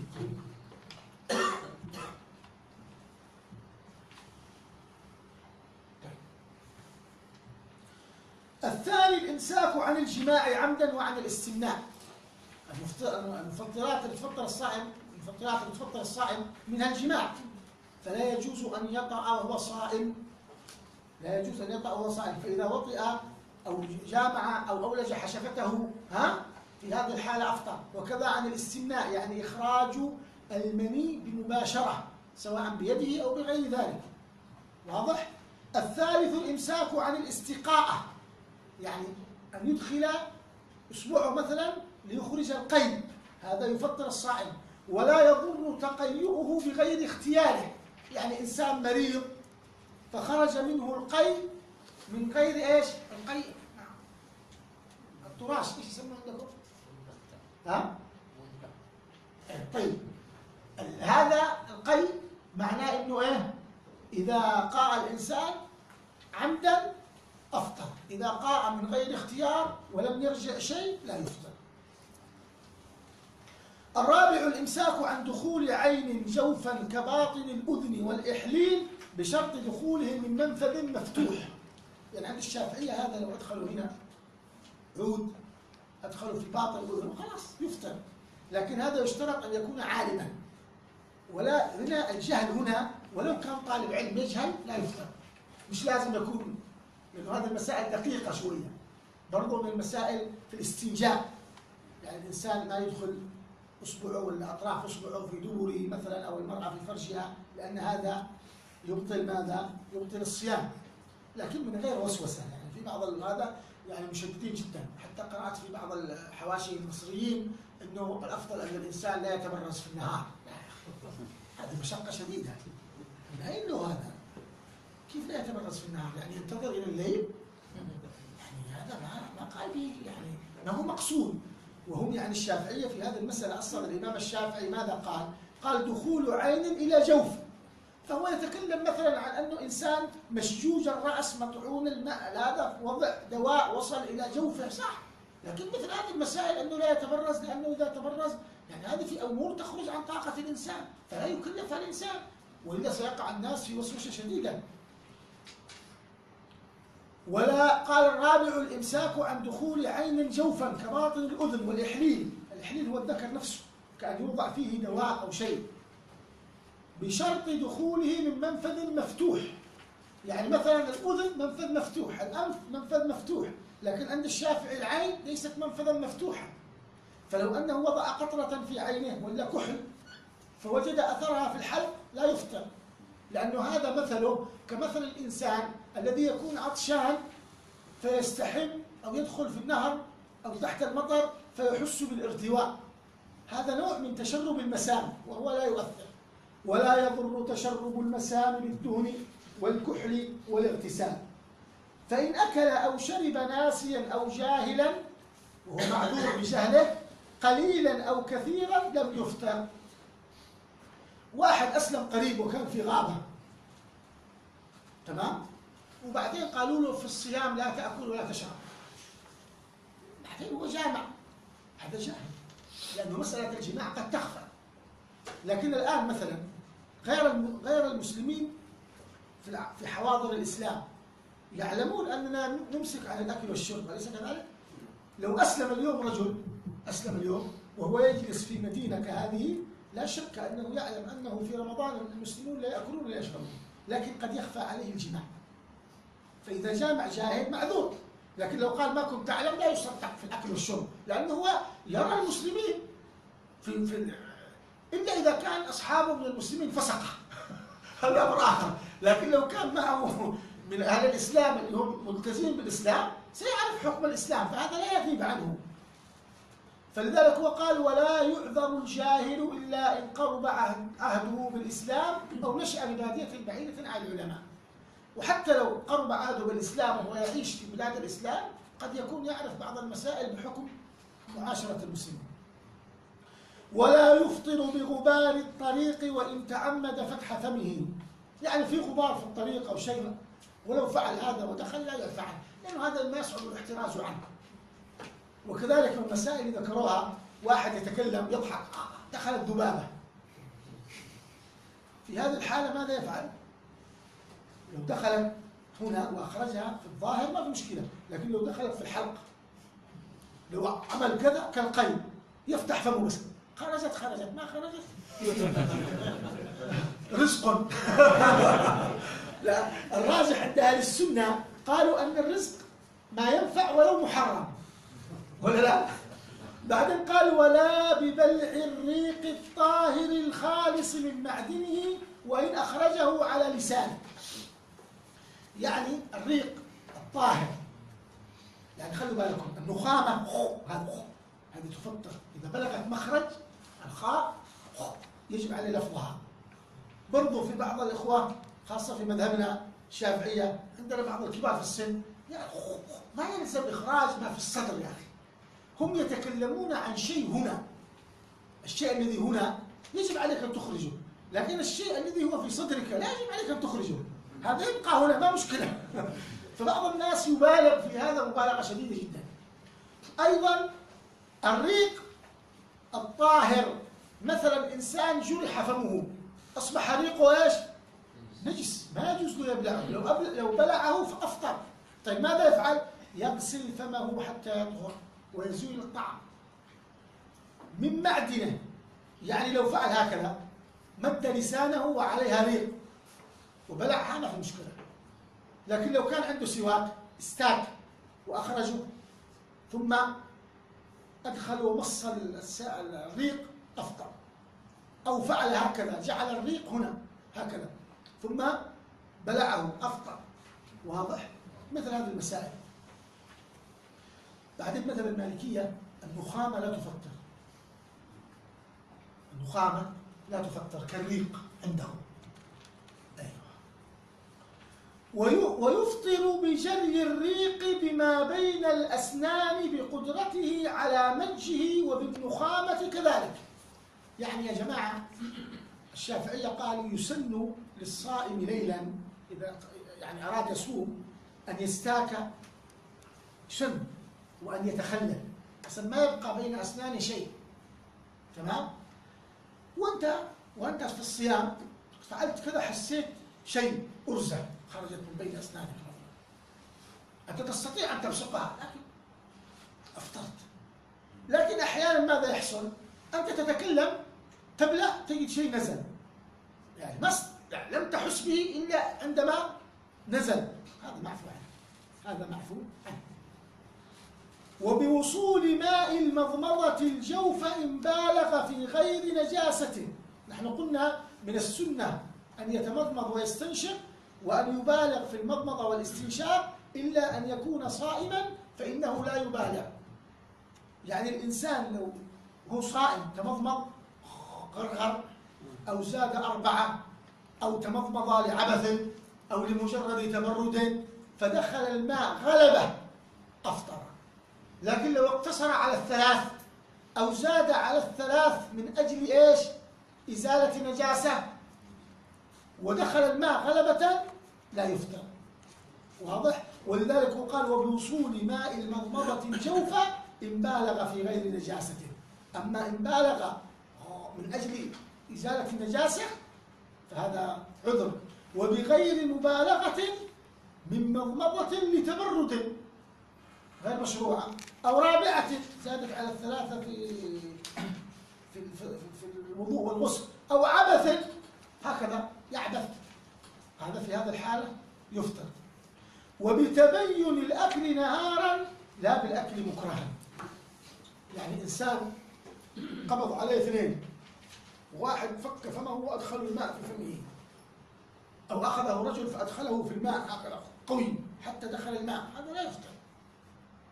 هذا مكره.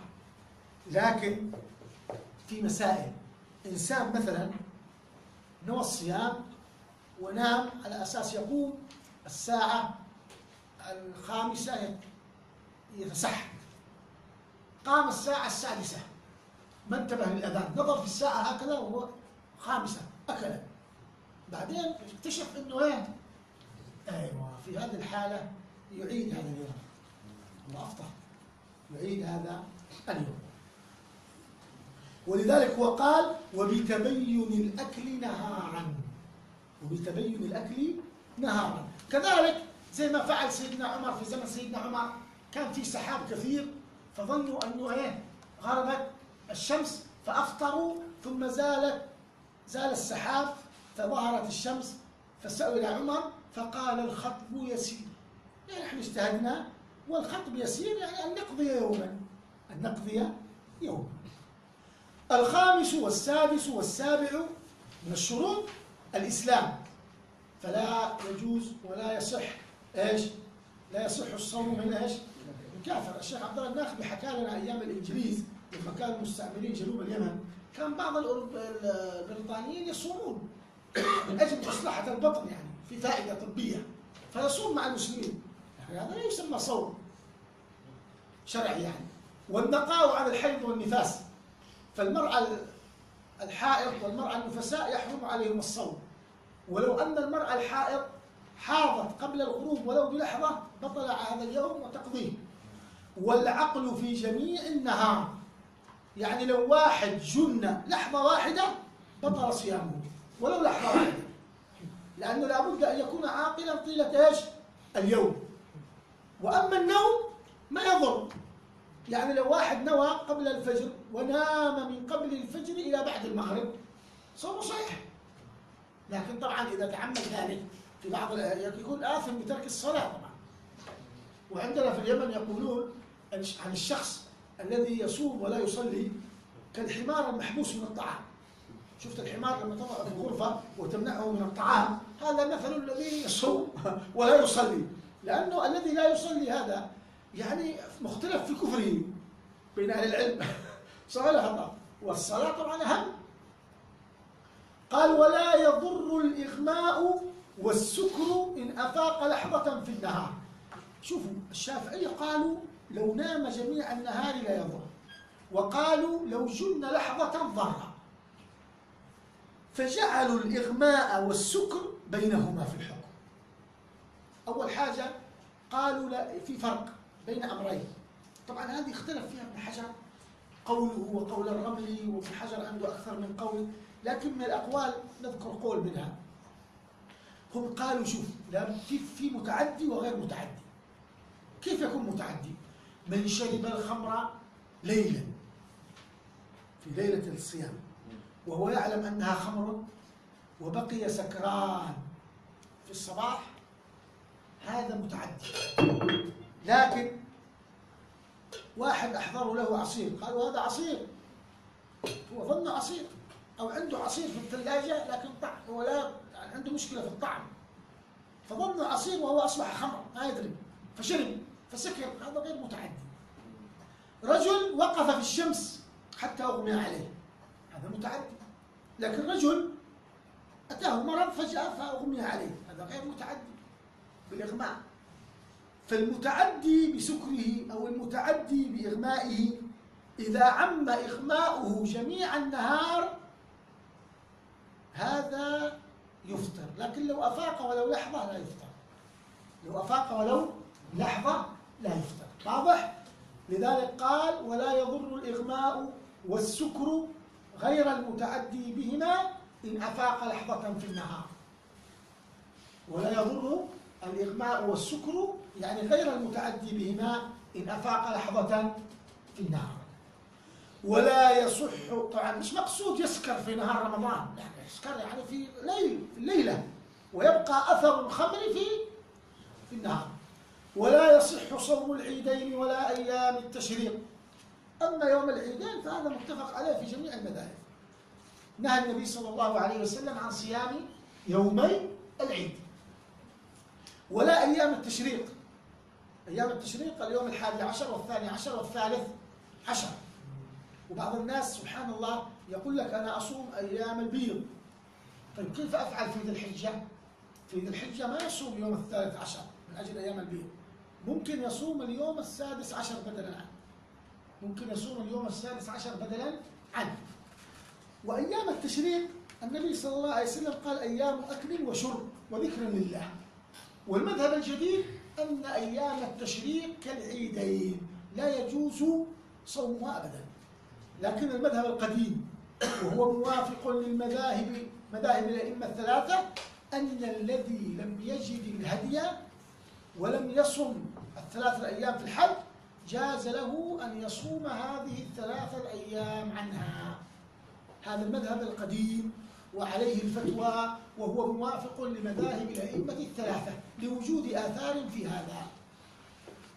ولا يصح أيضا صوم النصف الأخير من شعبان. في حديث إذا انتصف شعبان فلا صيام. بعض العلماء ضعفوا كثير من العلماء ضعفوا لكن الشافعية أخذوا به. فإذا يوم 16 شعبان لا يجوز صومه وما بعده إلا لورد. يعني رجل يصوم يوم ويفطر يوم يصوم الاثنين والخميس لا مانع. أو نذر كأن نذر صيام أيام. أو قضاء كأن في قضاء من رمضان فلا بد أن يقضيه لأنه لو جاء رمضان الجديد سيكون آثم. أو كفارة كأن صام شهر رجب وشعبان كفارة عن جماع ولا كفارة عن قتل مثلا. أو وص أو وص أو وصل نعم. إلا لولد أو نذر أو قضاء أو كفارة أو وصل ما بعد النصف بما قبله. أو وصل ما بعد النصف بما قبله. يعني كيف؟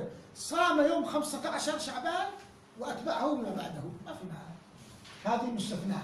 وطبعا لا شك أنه كذلك يوم الشك هذا متفق عليه أنه من صام يوم الشك فقد عصى أبا القاسم. فصل. لكن هو ما ذكر يوم الشك. لأنه أصلا هو من أيام النصف الأخير من من شعبان. طبعا يوم الشك يجوز صومه إذا وافق وردا أو عادة أو قضاء أو نذر فصل شرط من يجب عليه صوم رمضان. طبعا هذا الأمور الأولى التي ذكرها شروط الصحة. الآن هو سيتكلم عن شروط ماذا؟ الوجوب. في فرق.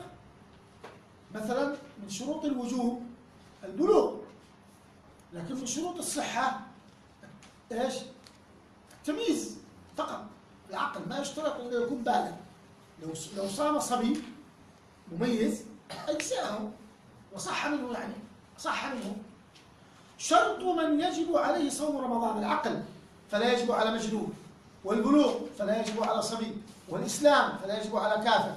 والإطاقة فلا يجب على عاجز. ويؤمر به الصبي لسبع ويضرب على تركه لعشر إن أطاقه. يعني هذا كله قاسوا على الصلاة. فإذا بلغ سبع سنوات يؤمر بالصيام وإذا بلغ عشر يضرب على تركه. هذا إذا كان مطيقا له. أما إذا كان ضعيف البدن لا يحتمل فلا يكلف ذلك. فصل ويجوز الفطر بالمرض الذي يبيح التيمم. يجوز فطر رمضان بالمرض الذي يبيح التيمم. يعني كيف؟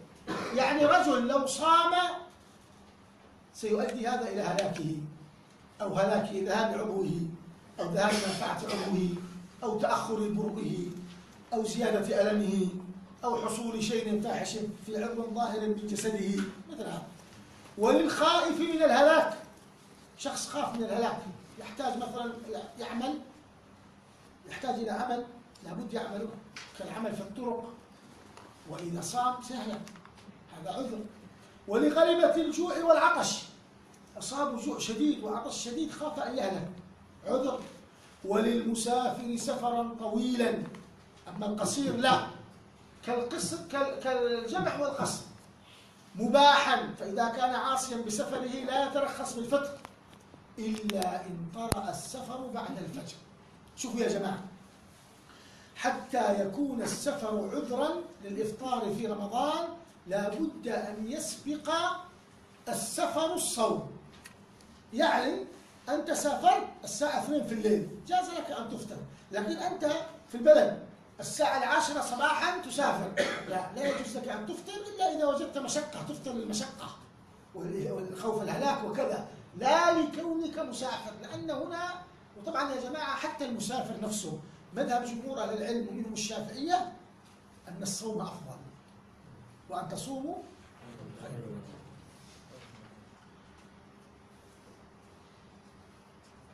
والصوم في السفر أفضل إن لم يتضرر به أما إذا تضرر به ففي هذه الحالة إيش؟ الفطر أفضل. وإذا بلغ الصبي أو قدم المسافر أو شفي المريض وهم صائمون حرم الفطر وإلا استحب الإمساك. واحد صبي ما يجب عليه الصوم. نام لكنه صائم. نام في الظهر فاستيقظ محتلما نقول له خلاص أصبحت بالغا يحرم عليك الإفطار. مسافر صائم فدخل البلد يحرم عليه الإفطار. مريض كان مريضا وكان يصوم مع مرضه. شفي الآن يحرم عليك الإفطار. لكن لو كان المسافر مفطرا فقدم. أو الصبي مفطرا فبلغ أو المريض مفطرا فشفي استحب لهم أن يمسكوا بقية اليوم. استحباب. وكل من أفطر لعذر أو غيره وجب عليه القضاء بعد التمكن. الله قال فمن كان منكم مريضا أو على سفر فعدة من أيام أخرى. الإنسان إذا كان مريض أو على سفر وزال عذره يجب عليه أن يفطر وكذلك من تعمد من باب أولى. طبعا لكن من تعمد مع الإثم. شخص مقيم ولا عذر له فشرب وأكل. حتى ذكر لنا بعض مشايخنا أنه في فسقة يجمعون الأموال طيلة العام ويجتمعون في رمضان في الغداء. نسأل الله السلامة. يعني مثل هذا الفسق والمحاربة لدين الله. واضح؟ فلذلك هو قال وكل من أفطر لعذر أو غيره وجب عليه القضاء لكن بغير عذر يكون آثم. فيجب عليه بعد التمكن بعد التمكن منه بزوال العذر إلا الصبي. يعني الصبي إذا بلغ لازم عليه قضاء ما مضى. والمجنون فالمجنون كان غير مكلف واحد مجنون عشر سنوات. نلزمه أنه يقضي ما مضى؟ لا في مذهب الشافعي لا. لكن عند مالك يقضي. ليه؟ لأنه مالك قال هو مرض. الله قال في عدة من أيام أخرى وهذا مريض مثله مثله. لكن عندنا هو غير مكلف. خرج من التكليف. والكافر الأصلي بخلاف المرتد واحد ارتد لا سمح الله عشر سنوات. بعدين رجع الإسلام نقول له اقضي صلاة العشر سنوات واقضي صيام العشر سنوات تغليظا عليه. ويستحب موالاة القضاء والمبادرة به. وتجب إن أفطر بغير عذر. رجل أفطر خمسة أيام لغير عذر. نقول له بعد يوم العيد يجب عليك أن تبادر بقضاء هذه الخمسة الأيام لكن رجل أو امرأة حاضت فأفطرت أو شخص مريض فأفطر لا يلزمه فورية القضاء. لا يلزمه فورية القضاء لكن يستحب في حقه. ويجب الإمساك في رمضان على تارك النية.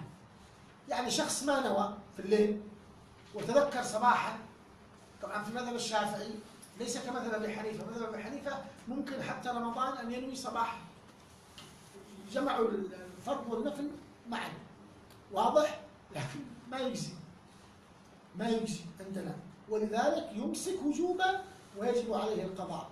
وكذلك المتعدي بفطره، يعني رجل شرب ماء ثم ندم. بعدين قال يا أخي أنا أفطرت آكل وأشرب، قل له لا يجب عليك الإمساك وأنت آثم وعليك التوبة والقضاء. عليك التوبة والقضاء. وفي يوم الشك إن تبين كونه من رمضان ويجب قضاؤه على الفور. ليش يجب قضاء يوم الشك على الفور؟ يوم 29 هذا. ليش إذا نحن يوم 30 شعبان؟ نحن قلنا شعبان ما رأينا الهلال.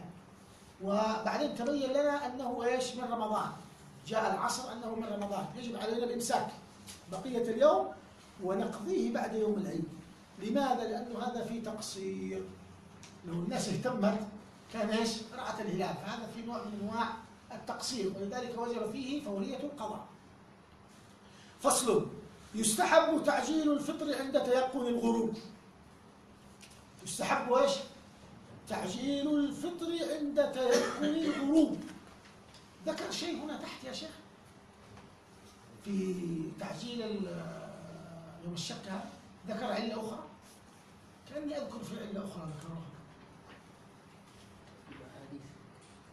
ها؟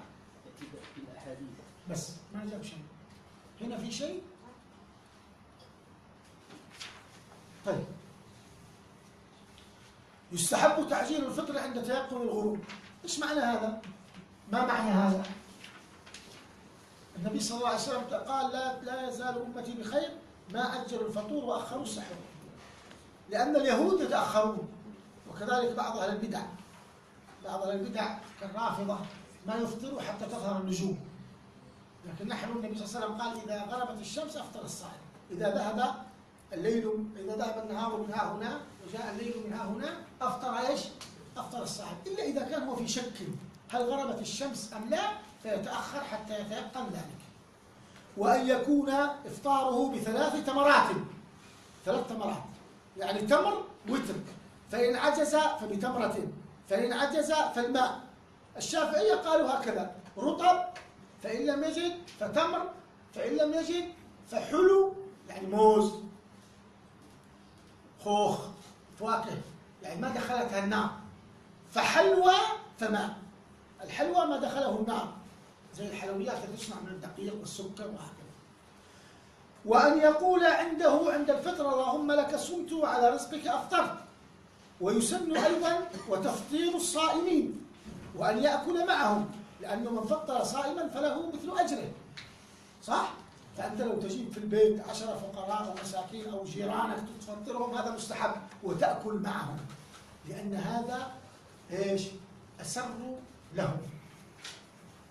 والسحور كذلك يستحب وتأخيره ما لم يقع في شك لأن النبي صلى الله عليه وسلم قال تسحروا فإن في السحور بركة. والسحور يا جماعة حتى ولو بالماء يحصل. وتأخيره ما لم يقع في شك يعني ما يتسحر في وقت قد يكون طلع الفجر وهو لا يدري. لا يتسحر وما زال هناك إيش؟ يقين أنه ما زال هذا من الليل. والاغتسال إن كان عليه غسل قبل الصبح. مسنون. رجل احتلم واستيقظ. الأفضل أن إيش؟ يغتسل. لكن لو لم يغتسل إلا بعد الفجر صومه صحيح. وكذلك المرأة لو انقطع حيضها قبل الفجر تنوي الصيام. إن استطاعت وهو الأفضل أن تغتسل قبل الفجر أفضل. لكن لو كانت تحتاج تتسحر ما في مشكلة تغتسل بعد. إيش؟ بعد الفجر. وطبعا يا إخواني لو اغتسلت اغتسل من جنابة هو أو زوجته أو من حيض ودخل الماء من غير إرادة بالاغتسال بالصب في أذنه من غير إرادة منه معفو عنه. لكن لو انغمس في الماء يضر. لو انغمس يضر.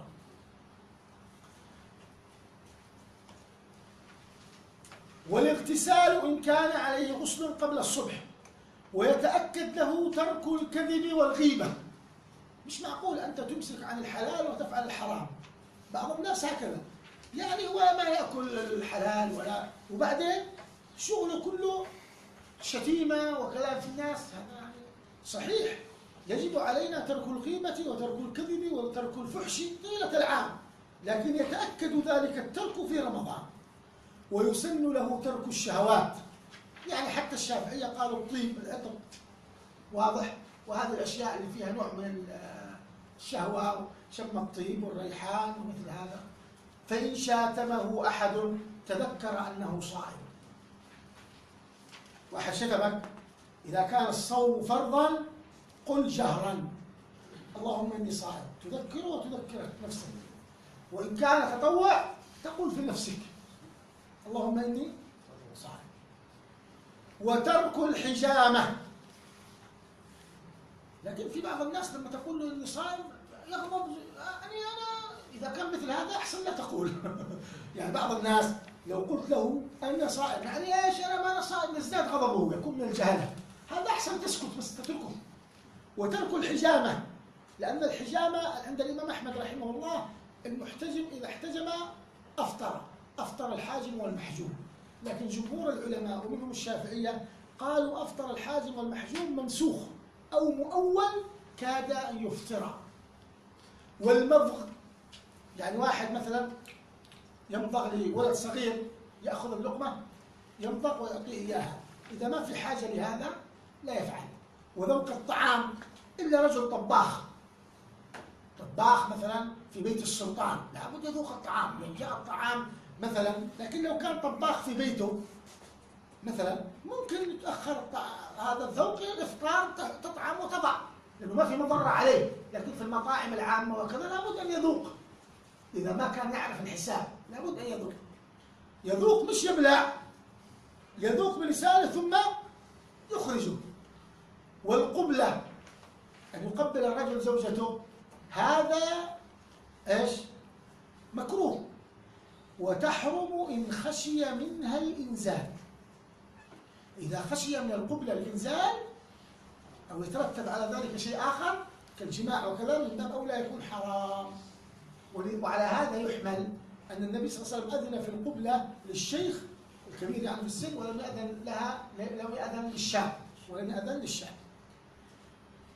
طبعا يا جماعة خروج المني بمجرد التفكر أو النظر من غير مباشرة. عندنا لا يفطر به. ويكره السواك بعد الزوال. مر علينا هذا. وقلنا أن اختيار الإمام النووي عدم الكراهة مطلقا. وإنه اختيار السيوطي الكراهة بعد العصر. ويستحب في رمضان التوسعة على العيال زوجتك وأولادك لما تجيب الأكل الجميل وكذا. يفرحوا برمضان. ففي تعظيم لشعيرة الصيام.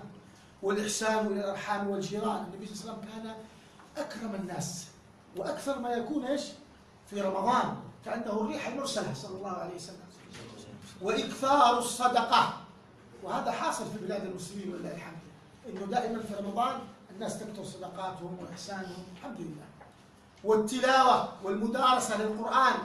سيدنا الإمام مالك كان إذا جاء رمضان أغلق كتب العلم وفتح المصحف. والشافعي إمامنا كان يختم في رمضان ستين ختمة ختمة في النهار وختمة في الليل. ابن عساكر رحمه الله أراد أن يفعل مثله إلى أن بلغ 59 ما استطاع يكمل 60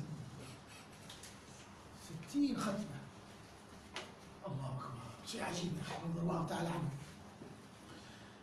طيب في بعض الناس للأسف فنحن كثير من منا الآن خاصة مع الفيسبوك وهذا ما يفتح المصحف إلا في رمضان.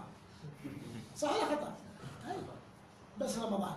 لا المصحف هذا حقه هو ديننا وهذا كلام ربنا. فحقه نعتني به عناية فائقة خاصة طلبة العلم. لأنه حقيقة في بعض طلبة العلم حكى لنا الشيخ محي الدين بن الإمام الفياضي الحنفي رحمه الله. قال في بعض العلماء يعني من اعتنائهم بعلم المنطق انشغلوا عن القرآن وانشغلوا وعلم المنطق والفلسفة والعلوم العقلية وعلم الكلام. قال حتى رجل منهم فتح صندوق كتب فوجد آية يعني من وجد مصحف مكتوب آية فقال سبحان الله هذا متن في في المواريث وهي آيات النساء في المواريث. ما أعرفها هذا. نوع من أنواع الإهمال والشطط إهمال وشطط قال والإحسان إلى الأرحام والجيران. وإكثار الصدقة والتلاوة والمدارسة لأن النبي صلى الله عليه وسلم كان يدارسه جبريل بالقرآن في رمضان. والاعتكاف الاعتكاف هذا لا سيما العشر الأواخر وهذه العشر الأواخر فيها ليلة القدر. طبعا الاعتكاف سيأتي الكلام عنه عند سنة مؤكدة. وفيها ليلة القدر. ومذهب الشافعي رحمه الله أن ليلة القدر يوم واحد لكن آكدها الحادي والعشرون أو الثاني أو الثالث والعشرون. لكن كثير من علماء المذهب مالوا إلى أنها إيش؟ متنقلة في الليالي الوترية. ويقول فيها ما يعني سألت السيدة عائشة النبي صلى الله عليه وسلم ماذا تقول إذا أدركت ليلة القدر؟ فعلمها هذا الدعاء المبارك. اللهم إنك عفو تحب العفو فاعفو عني. ويكتمها يعني لو الله سبحانه وتعالى أطلعه عليها يستحب في حقه أن يكتمها لا يشهرها. لأنه هذا مقصود الشارع. ويحييها يحيي الليلة. ويحيي يومها كليلتها. يكثر من الإحياء. والشافعي رحمه الله يعمل إحيائها بالعبادة والذكر والشافعي رحمه الله قال من صلى العشاء في جماعة والفجر في جماعة ليلة القدر فقد أحياها. فقد إيش؟ أحياها. ويحرم الوصال في الصوم. يحرم الوصال في الصوم. يعني أن يتابع اليوم تلو اليوم من غير أن يفطر في الليل من غير أن يفطر في الليل لأن النبي صلى الله عليه وسلم نهى عن ذلك. فصل وتجب الكفارة الكفارة العظمى على من أفسد صوم رمضان بالجماع ولو في دبر وبهيمة. يعني مجرد الاتصال الجنسي سواء بذكر ولا أنثى ولا دبر ولا قبل إذا أولج حشفته هذا أفطر ويجب عليه لأنه انتهك حرمة شهر رمضان بالجماع عليه الكفارة العظمى. ولا على المرأة. المرأة ما يجب عليها الكفارة العظمى. أولا لأن الرجل الذي جاء للنبي صلى الله عليه وسلم ما سأله عن حال زوجته هل هي راضية أم لا. والثاني لأن الرجل إذا جامع المرأة بمجرد أن يدخل بعض الحشفة تفطر المرأة. فهي أفطرت قبل تمام الجماع فهي لم تفطر بالجماع. واضح؟ هي لم تفطر بالجماع. ولا على من جامع ناسيا أنه رمضان أو مكرها. هذا برضه نفس الشيء ما عليه. ولا على من أفسد صوم غير رمضان بالجماع. يعني واحد قضاء رمضان يقضي رمضان فجامع. ليس عليه الكفارة لأن الكفارة متعلقة بانتهاك حرمة الشهر. وهذا وإن أفسد صوما واجبا وهو حرام عليه لكنه إيش؟ ليس عليه الكفارة ولا على من أفطر بغير الجماع. خلاف مذهب مالك. مذهب مالك كل من تعدى بالإفطار في نهار رمضان بأكل أو شرب أو جماع وجبت عليه الكفارة العظمى. قياسا.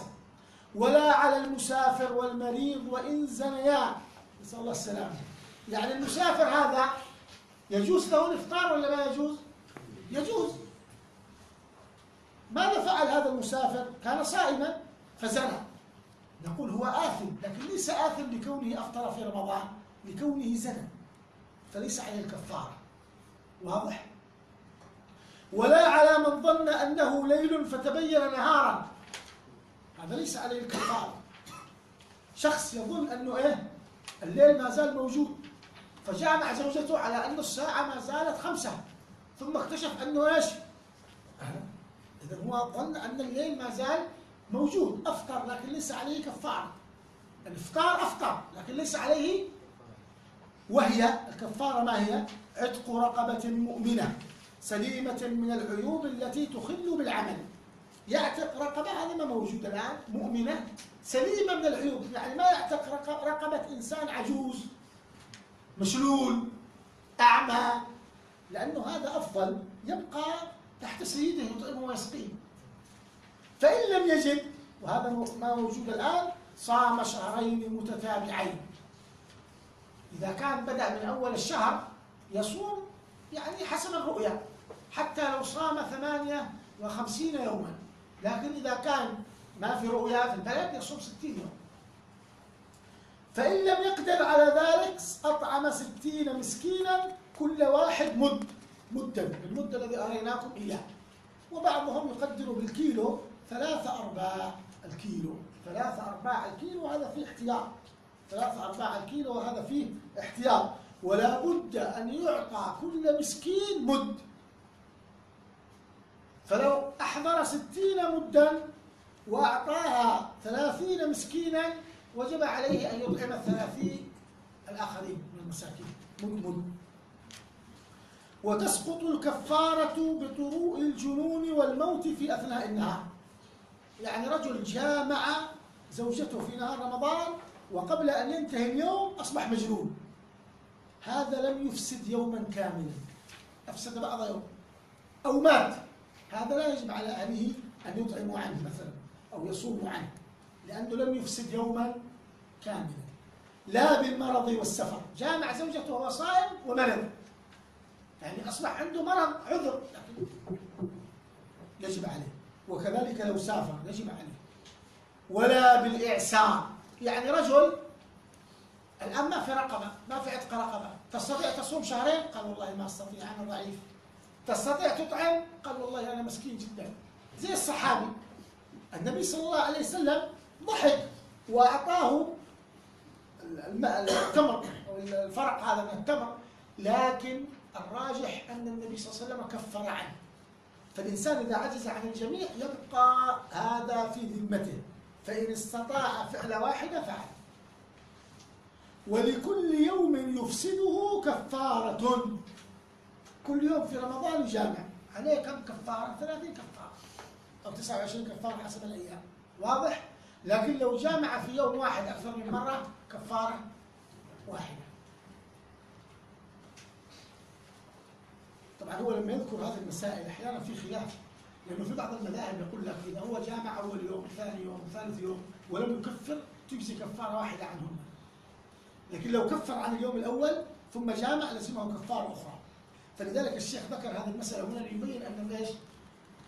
فصل ويجب مد من غالب هذه الفدية الفدية الواجبة في بعض المسائل في فدية ما يسمى بالفدية ما هي الفدية؟ قال ويجب مد من غالب قوت البلد. يجب مد من غالب قوت البلد. من الأرز كيلو إلى ربع. ويصرف إلى الفقراء والمساكين.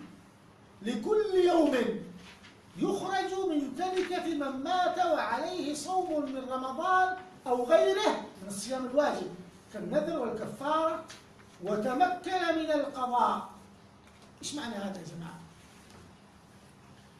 في رجل كان مريضا. أفطر رمضان الماضي لأنه مريض. واستمر مريض إلى أن جاء رمضان هذا ومات. أو مرض حتى مات. طبعا خلوا بالكم هو لما كان مريض السؤال هل مرضه مما يرجى برؤه أم لا؟ فإن كان مرضه مما يرجى برؤه جاءته حمى. حمى هذه تزول. لكن قالوا الأطباء هذا عنده سرطان مستشري سيموت.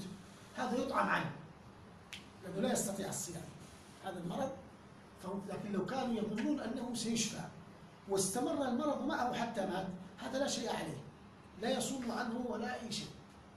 لكن رجل أفطر خمسة أيام لمرض أو أفطرت لحي أو لسفر وتمكن من القضاء ثم مات.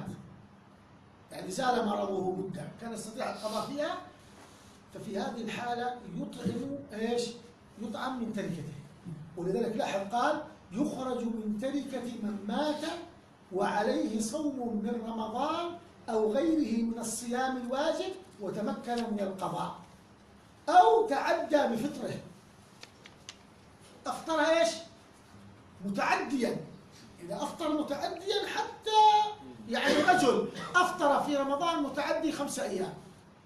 ثم أكمل صيام باقي الشهر ثم مات. هذا يطعم عنه وجوبا حتى ولو إنه لم يتمكن أصلا من القضاء لأنه متعدي.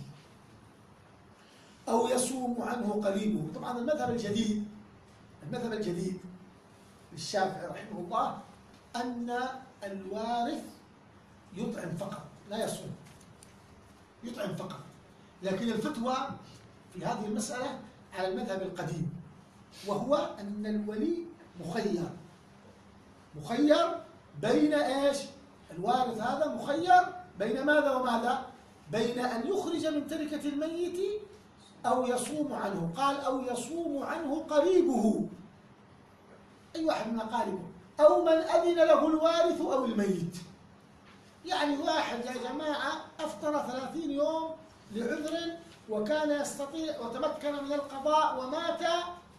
ممكن أنا مثلا هذا الرجل أنا وارث له أجمعكم أنتم ثلاثين شخص أقول لكم نحن غدا. أذنت لكم أن تصوموا عن قريب فلان. نصوم كلنا في يوم واحد. خلاص. أو نطعم عن كل يوم مد. وطبعا هنا الإطعام عن كل يوم مد. كل يوم مستقل عن الآخر. يعني ممكن الثلاثين مدة هذه تعطى لشخص واحد. ليس كهناك لأن هناك مقصود ستين مسكين. لكن هنا مقصود مجرد الإطعام. قال ويجب المد أيضا على من لا يقدر على الصوم لهرم كبر سن أو مرض لا يرجى برؤه زي بعض الأمراض زي الفشل الكلوي كذا بعضهم لا يستطيع الصوم. وعلى الحامل والمرضعة. شوفوا الحامل والمرضعة إذا أفطرتا خوفا على النفس ولو مع الولد خوفا على النفس ولو مع الولد يجب عليها مجرد القضاء فقط. لكن إذا أفطرت خوفا على الولد فقط وجب عليها القضاء والفدية. وكذلك حكم كل من أفطر خوفا على غيره. كمن أنقذ رجلا يغرق فدخل الماء. فهذا أفطر خوفا على ذلك الغريق. فيجب عليه إيش؟ الفدية. قال وعلى الحامل والمرضعة إذا أفطرتا خوفا على الولد مع القضاء. فدية مع القضاء. وعلى من أفطر لإنقاذ حيوان مشرف على الهلاك أيضا الفدية مع القضاء. وعلى من أخر القضاء إلى رمضان آخر بغير عذر. يعني واحد أفطر عشر أيام قبل عشر سنوات. جاء قال والله أنا قبل عشر سنوات أفطرت عشر أيام. ماذا أفعل الآن؟ نقول له أولا أنت آثم. يلزمك التوبة. ثانيا قضاء العشر الأيام. ثالثا يلزمك عن كل يوم عشرة أمداد لأنه كل سنة يتضاعف المد هذا إذا لم يصم. أما هذا الرجل لو قال أنا قبل خمس سنين تركت صوم خمسة أيام ولكني صمتها بعد سنتين. صمتها بعد؟ لكني لم أخرج العشر الأمداد المتعلقة بهذه الخمسة أيام لأنه سنتين. والآن أريد أخرجها. كم أخرج؟ نقول تخرج عشر أمداد فقط. لأنك لكونك صمت الأمداد تتضاعف. إنما علة مضاعفة الأمداد أن يأتي العام الجديد وأنت لم تصم فيزيد إثمك و أيوة. فلذلك هذا الذي ترك عشرة أيام قبل عشرة سنين يلزمه مئة مد. يلزمه مئة مد واضح فصل في صوم التطوع. قال صوم التطوع سنة. صح؟ صوم التطوع سنة. النبي صلى الله عليه وسلم كان يصوم. صلى الله عليه وسلم. وهو يكمل به الصوم إيش؟ صوم الفريضة. قال وهو ثلاثة أقسام. ما يتكرر بتكرر السنين. يعني في صيام يأتي في السنة مرة واحدة. صح؟ وهو صوم عرفة لغير الحاج والمسافر. أما الحاج والمسافر فلا يصوم. تمام؟ وعشر ذي الحجة يعني الأفضل أن لا يصوم أو لا يسمى في حقه الصيام. وعشر ذي الحجة يعني الإنسان من السنة أن يصوم التسع الأيام التي قبل يوم العيد عيد الأضحى. وعاشوراء وتاسوعاء والحادي عشر من المحرم لأن النبي صلى الله عليه وسلم قال صوموا يوما قبله أو بعده. فالأفضل أنه أكمل الصيام عندنا أن يصوم التاسع والعاشر والحادي عشر لأنه في احتياط. وست من شوال ستة من شوال ويسن عند الشافعية تواليها واتصالها بالعيد. يعني يصوم من ثاني يوم من شوال ويستمر صائم إلى يوم إيش؟ السابع. هذا أفضل هذا أفضل لأنه في الحديث وأتبعه أو وأتبعها بست من شوال. نعم. وهناك قال وما يتكرر بتكرر الشهور الشهور. وهو وهي الأيام البيض. وهي الثالث عشر والرابع عشر والخامس عشر. وهناك قول أنه يدخل معها الثاني عشر. لكن الراجح أنها الثالث عشر والرابع عشر والخامس عشر من كل شهر. والأيام السود. وهي الثامن والعشرون وتالياه. الثامن والعشرون وتالياه. تالياه يعني إيش هما؟ التاسع والعشرون والثلاثون أو التاسع والعشرون وأول الشهر الآخر. وهذا له دليل أن النبي صلى الله عليه وسلم قال هل صمت من سرر هذا الشهر؟ الإمام الدارمي في سننه قال سرر الشهر آخره. سرر الشهر آخره. لأنه كثير من الشافعية ينكر عليهم الناس أين دليل هذا ولا يعرفون جوابه. موجود دليل. سرر الشهر اختلف فيها الحديث. بعضهم قال أول الشهر وبعضهم قال آخر الشهر. وممن قال أنه آخر الشهر الإمام الدارمي في سننه. قال سرر الشهر آخره. والعبرة العلة التي يذكرها العلماء أنه في أيام البيض يظهر البدر والنور. فهذه نعمة تحتاج إلى شكر. وفي الليالي السود الأيام السود ما يظهر النور. فهذا مدعاة إلى أن إيش؟ نعبد الله ومن أجل أن يديم علينا هذه النعمة التي لا نراها. واضح؟ هذا هو المقصود. وما يتكرر بتكرر الأسابيع وهو الاثنين والخميس. لأن النبي صلى الله عليه وسلم كان يصومها أيام ترفع فيها الأعمال. والاثنين قال يوم ولدت فيه. يوم ولدت فيه. وسن صوم الأشهر الحرم. وهي ذو القعدة وذو الحجة والمحرم. هذه ثلاثة سرد. ورجب وهو فرد. رجب مضر كما قال النبي صلى الله عليه وسلم وهو الذي بين جمادى وشعبان. هذه تسمى الأيام إيش؟ الأيام الأشهر الحرم. فهذه يعني تعظم ومن تعظيمها الصيام. وكذا صوم شعبان. بل النبي صلى الله عليه وسلم كان يصوم أكثر شعبان. أكثر شعبان. بل كانت بعض السيدة عائشة في بعض الروايات أن تجزم أنه صامه كله. لماذا؟ لأنه كان النبي صلى الله عليه وسلم يستعد فيه لصيام رمضان. يستعد فيه لصيام رمضان. وأفضلها المحرم. هذا نص. أنه أفضل الصيام بعد رمضان صيام شهر الله المحرم. ثم باقي الحرم. الأشهر الحرم. ثم شعبان. وفي بعض العلماء قدم شعبان على الأشهر الحرم. الباقية قدم وذكر لأن شعبان ثبت محافظة النبي صلى الله عليه وسلم على صيامه أكثر فبعضهم قدم إيش؟ شعبان. قال وأفضل ويكره إفراد الجمعة والسبت والأحد بالصيام. يكره بس. يكره. إنه يصوم السبت فقط والأحد. لكن لو صام قبله أو بعده تزول الكراهة. وأف أو وافق ذلك عادة ووردا. كان كان يصوم يوم ويفطر يوم. أو وافق يوم عاشوراء. لأن بعض الناس يبالغوا. يقول لك حتى لو وافق يوم السبت يوم عاشوراء ما تصوم. يعني هذا ما قال به أهل المذاهب الأربعة. وأفضل الصيام صوم يوم وفطر يوم بنص النبي صلى الله عليه وسلم أن أفضل الصيام صيام داود وكان داود يصوم يوما ويفطر يوما. وأما صيام الدهر فمكروه إن أدى إلى ضعف البدن أو ذهاب الحقوق. لكن رجل كبير أولاده مرتاحين وزوجته امرأة عجوز وهو منفوق عليه عنده مال فيصوم الدهر. ما في مانع. بشرط الا يصوم إيش؟ الأيام المنهي عنها. ما يصوم مثلا يعني يوم العيد وأيام التشريق. واضح؟ ما في مشكلة. لكن لو كان يصوم وهو يعمل في الجامعة وينام ولا يستطيع أن يشرح شرحا جيدا هذا لا. أو يصوم وزوجته يعني لا لا يأتي بنفقتها أو لا يستطيع أن يجامعها هذا ضياع للحقوق صحيح؟ وكذلك أبنائه. هكذا. كتاب الاعتكاف. الاعتكاف هو لزوم الشيء. اعتكف على الشيء لازمه. والمقصود هو لبث في مسجد بنية. لبث في مسجد بنية. يعني لكن يكون لبث بقدر إيش؟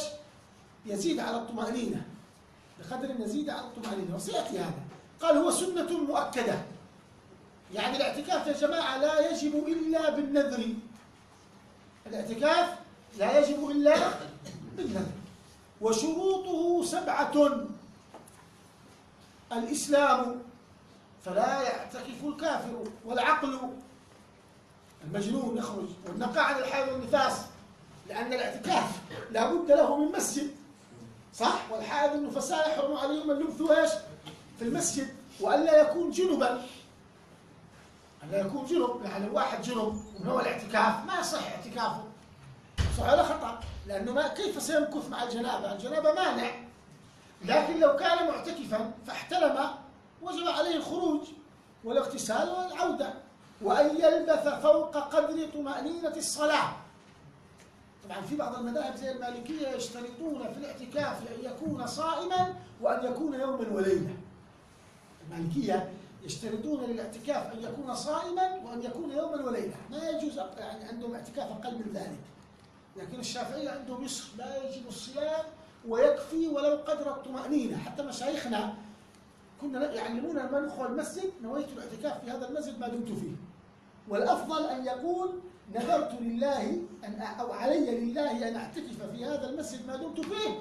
ثم يقول نويت الاعتكاف في هذا المسجد ما دمت فيه. واضح؟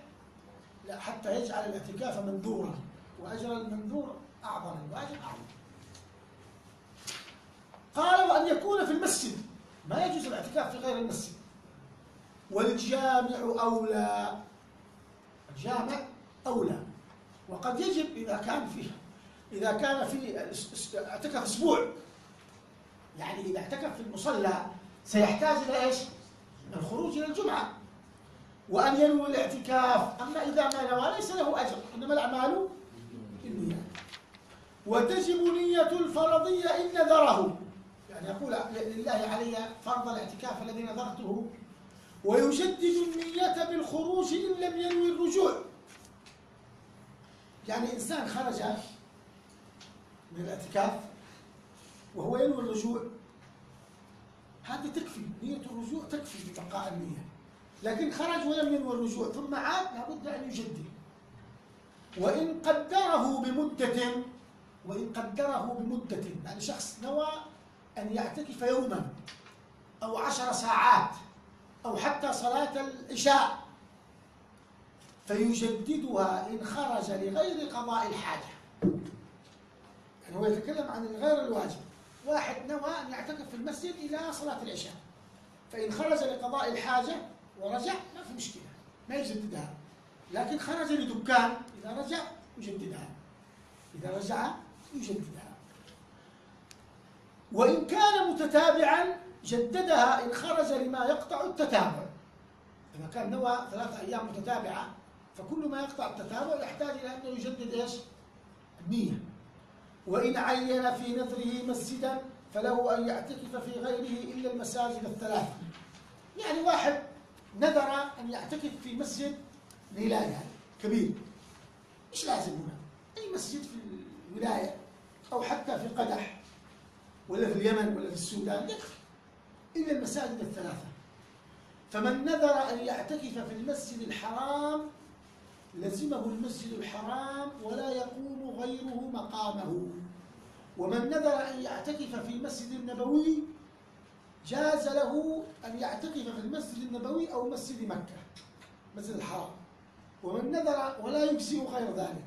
ومن نذر أن يعتكف في المسجد المسجد القدس المسجد الأقصى لزمه المسجد الأقصى أو المدينة أو المسجد الحرام ولا يجزئه غير ذلك لأن هذه المساجد الثلاثة لها ميزة عن غيرها أما باقي المساجد فكلها في منزلة واحدة واضح؟ ويحرم يعني الاعتكاف بغير إذن الزوج والسيد الزوجة ما يجوز لها أن تعتكف بغير إذن إيش؟ الزوج ولا العبد يجوز أن يعتكف بغير إذن إيش؟ السيد واضح؟ لكن لو هو هو اعتكف. النبي صلى الله عليه وسلم كان يعتكف وتعتكف أزواجه معه. فلو زوجها اعتكف وهي اعتكفت يعني زوجها هي تعلم أن زوجها هذا معتكف أصلا أو زوجها يصوم. تصوم. لأنه الذي لا يستطيع أن يفعل شيء مع الصيام. واضح؟ قال فصل ويبطل الاعتكاف بالجماع. ولا تباشروهن وأنتم عاكفون. شوفوا يا جماعة الجماع في المسجد حرام لمعتكف ولا غير معتكف؟ يعني رجل إمام مسجد مع زوجته في الليل وجامعة في المسجد حرام وإن لم يكن معتكفا. لكن هو يبطل الاعتكاف ولو كان في غير المسجد.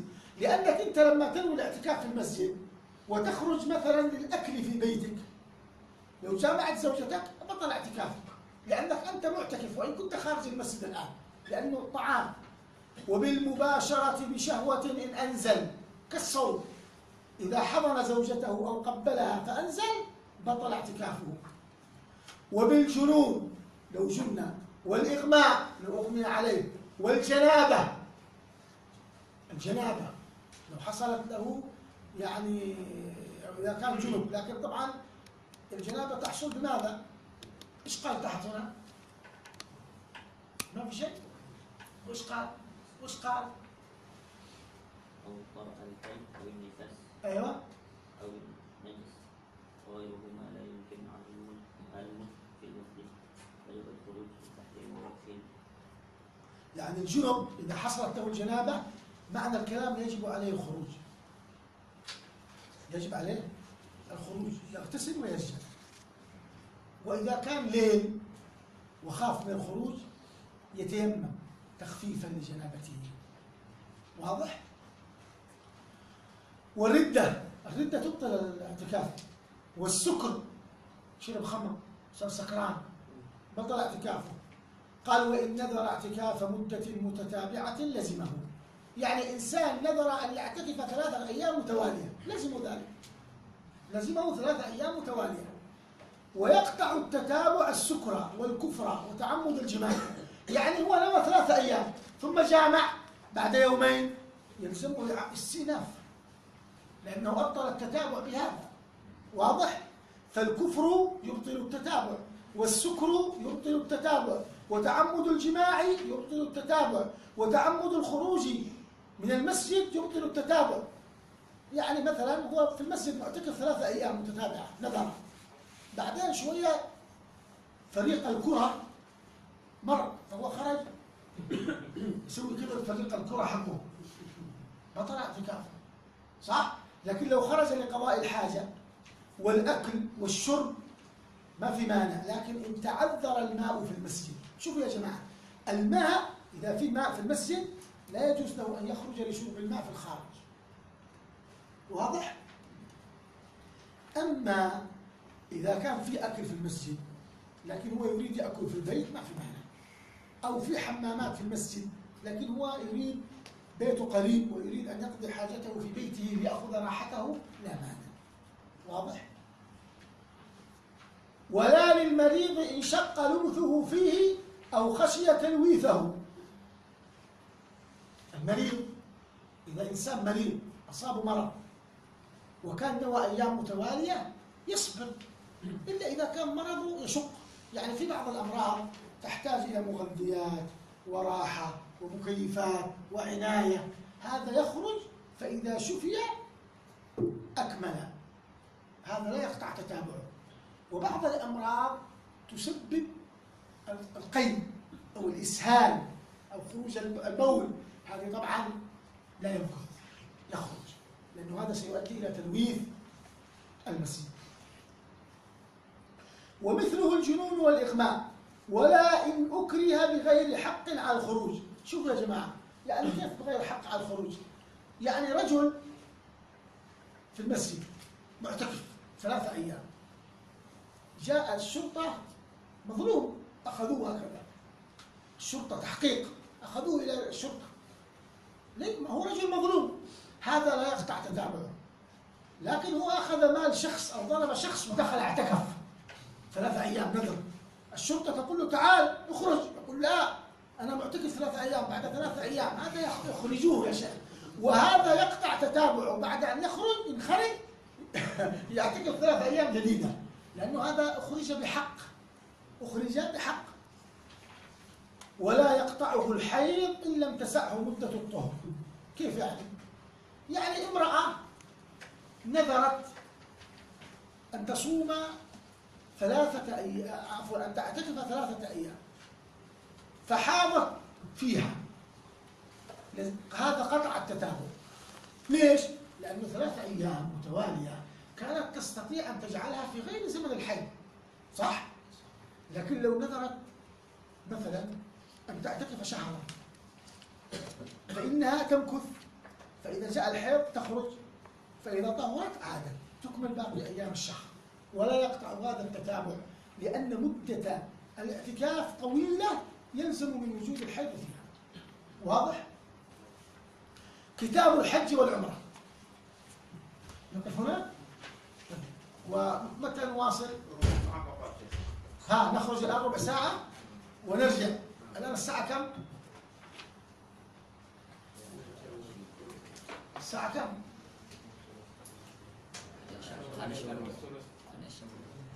11 طيب نعود يعني 11 وثلث.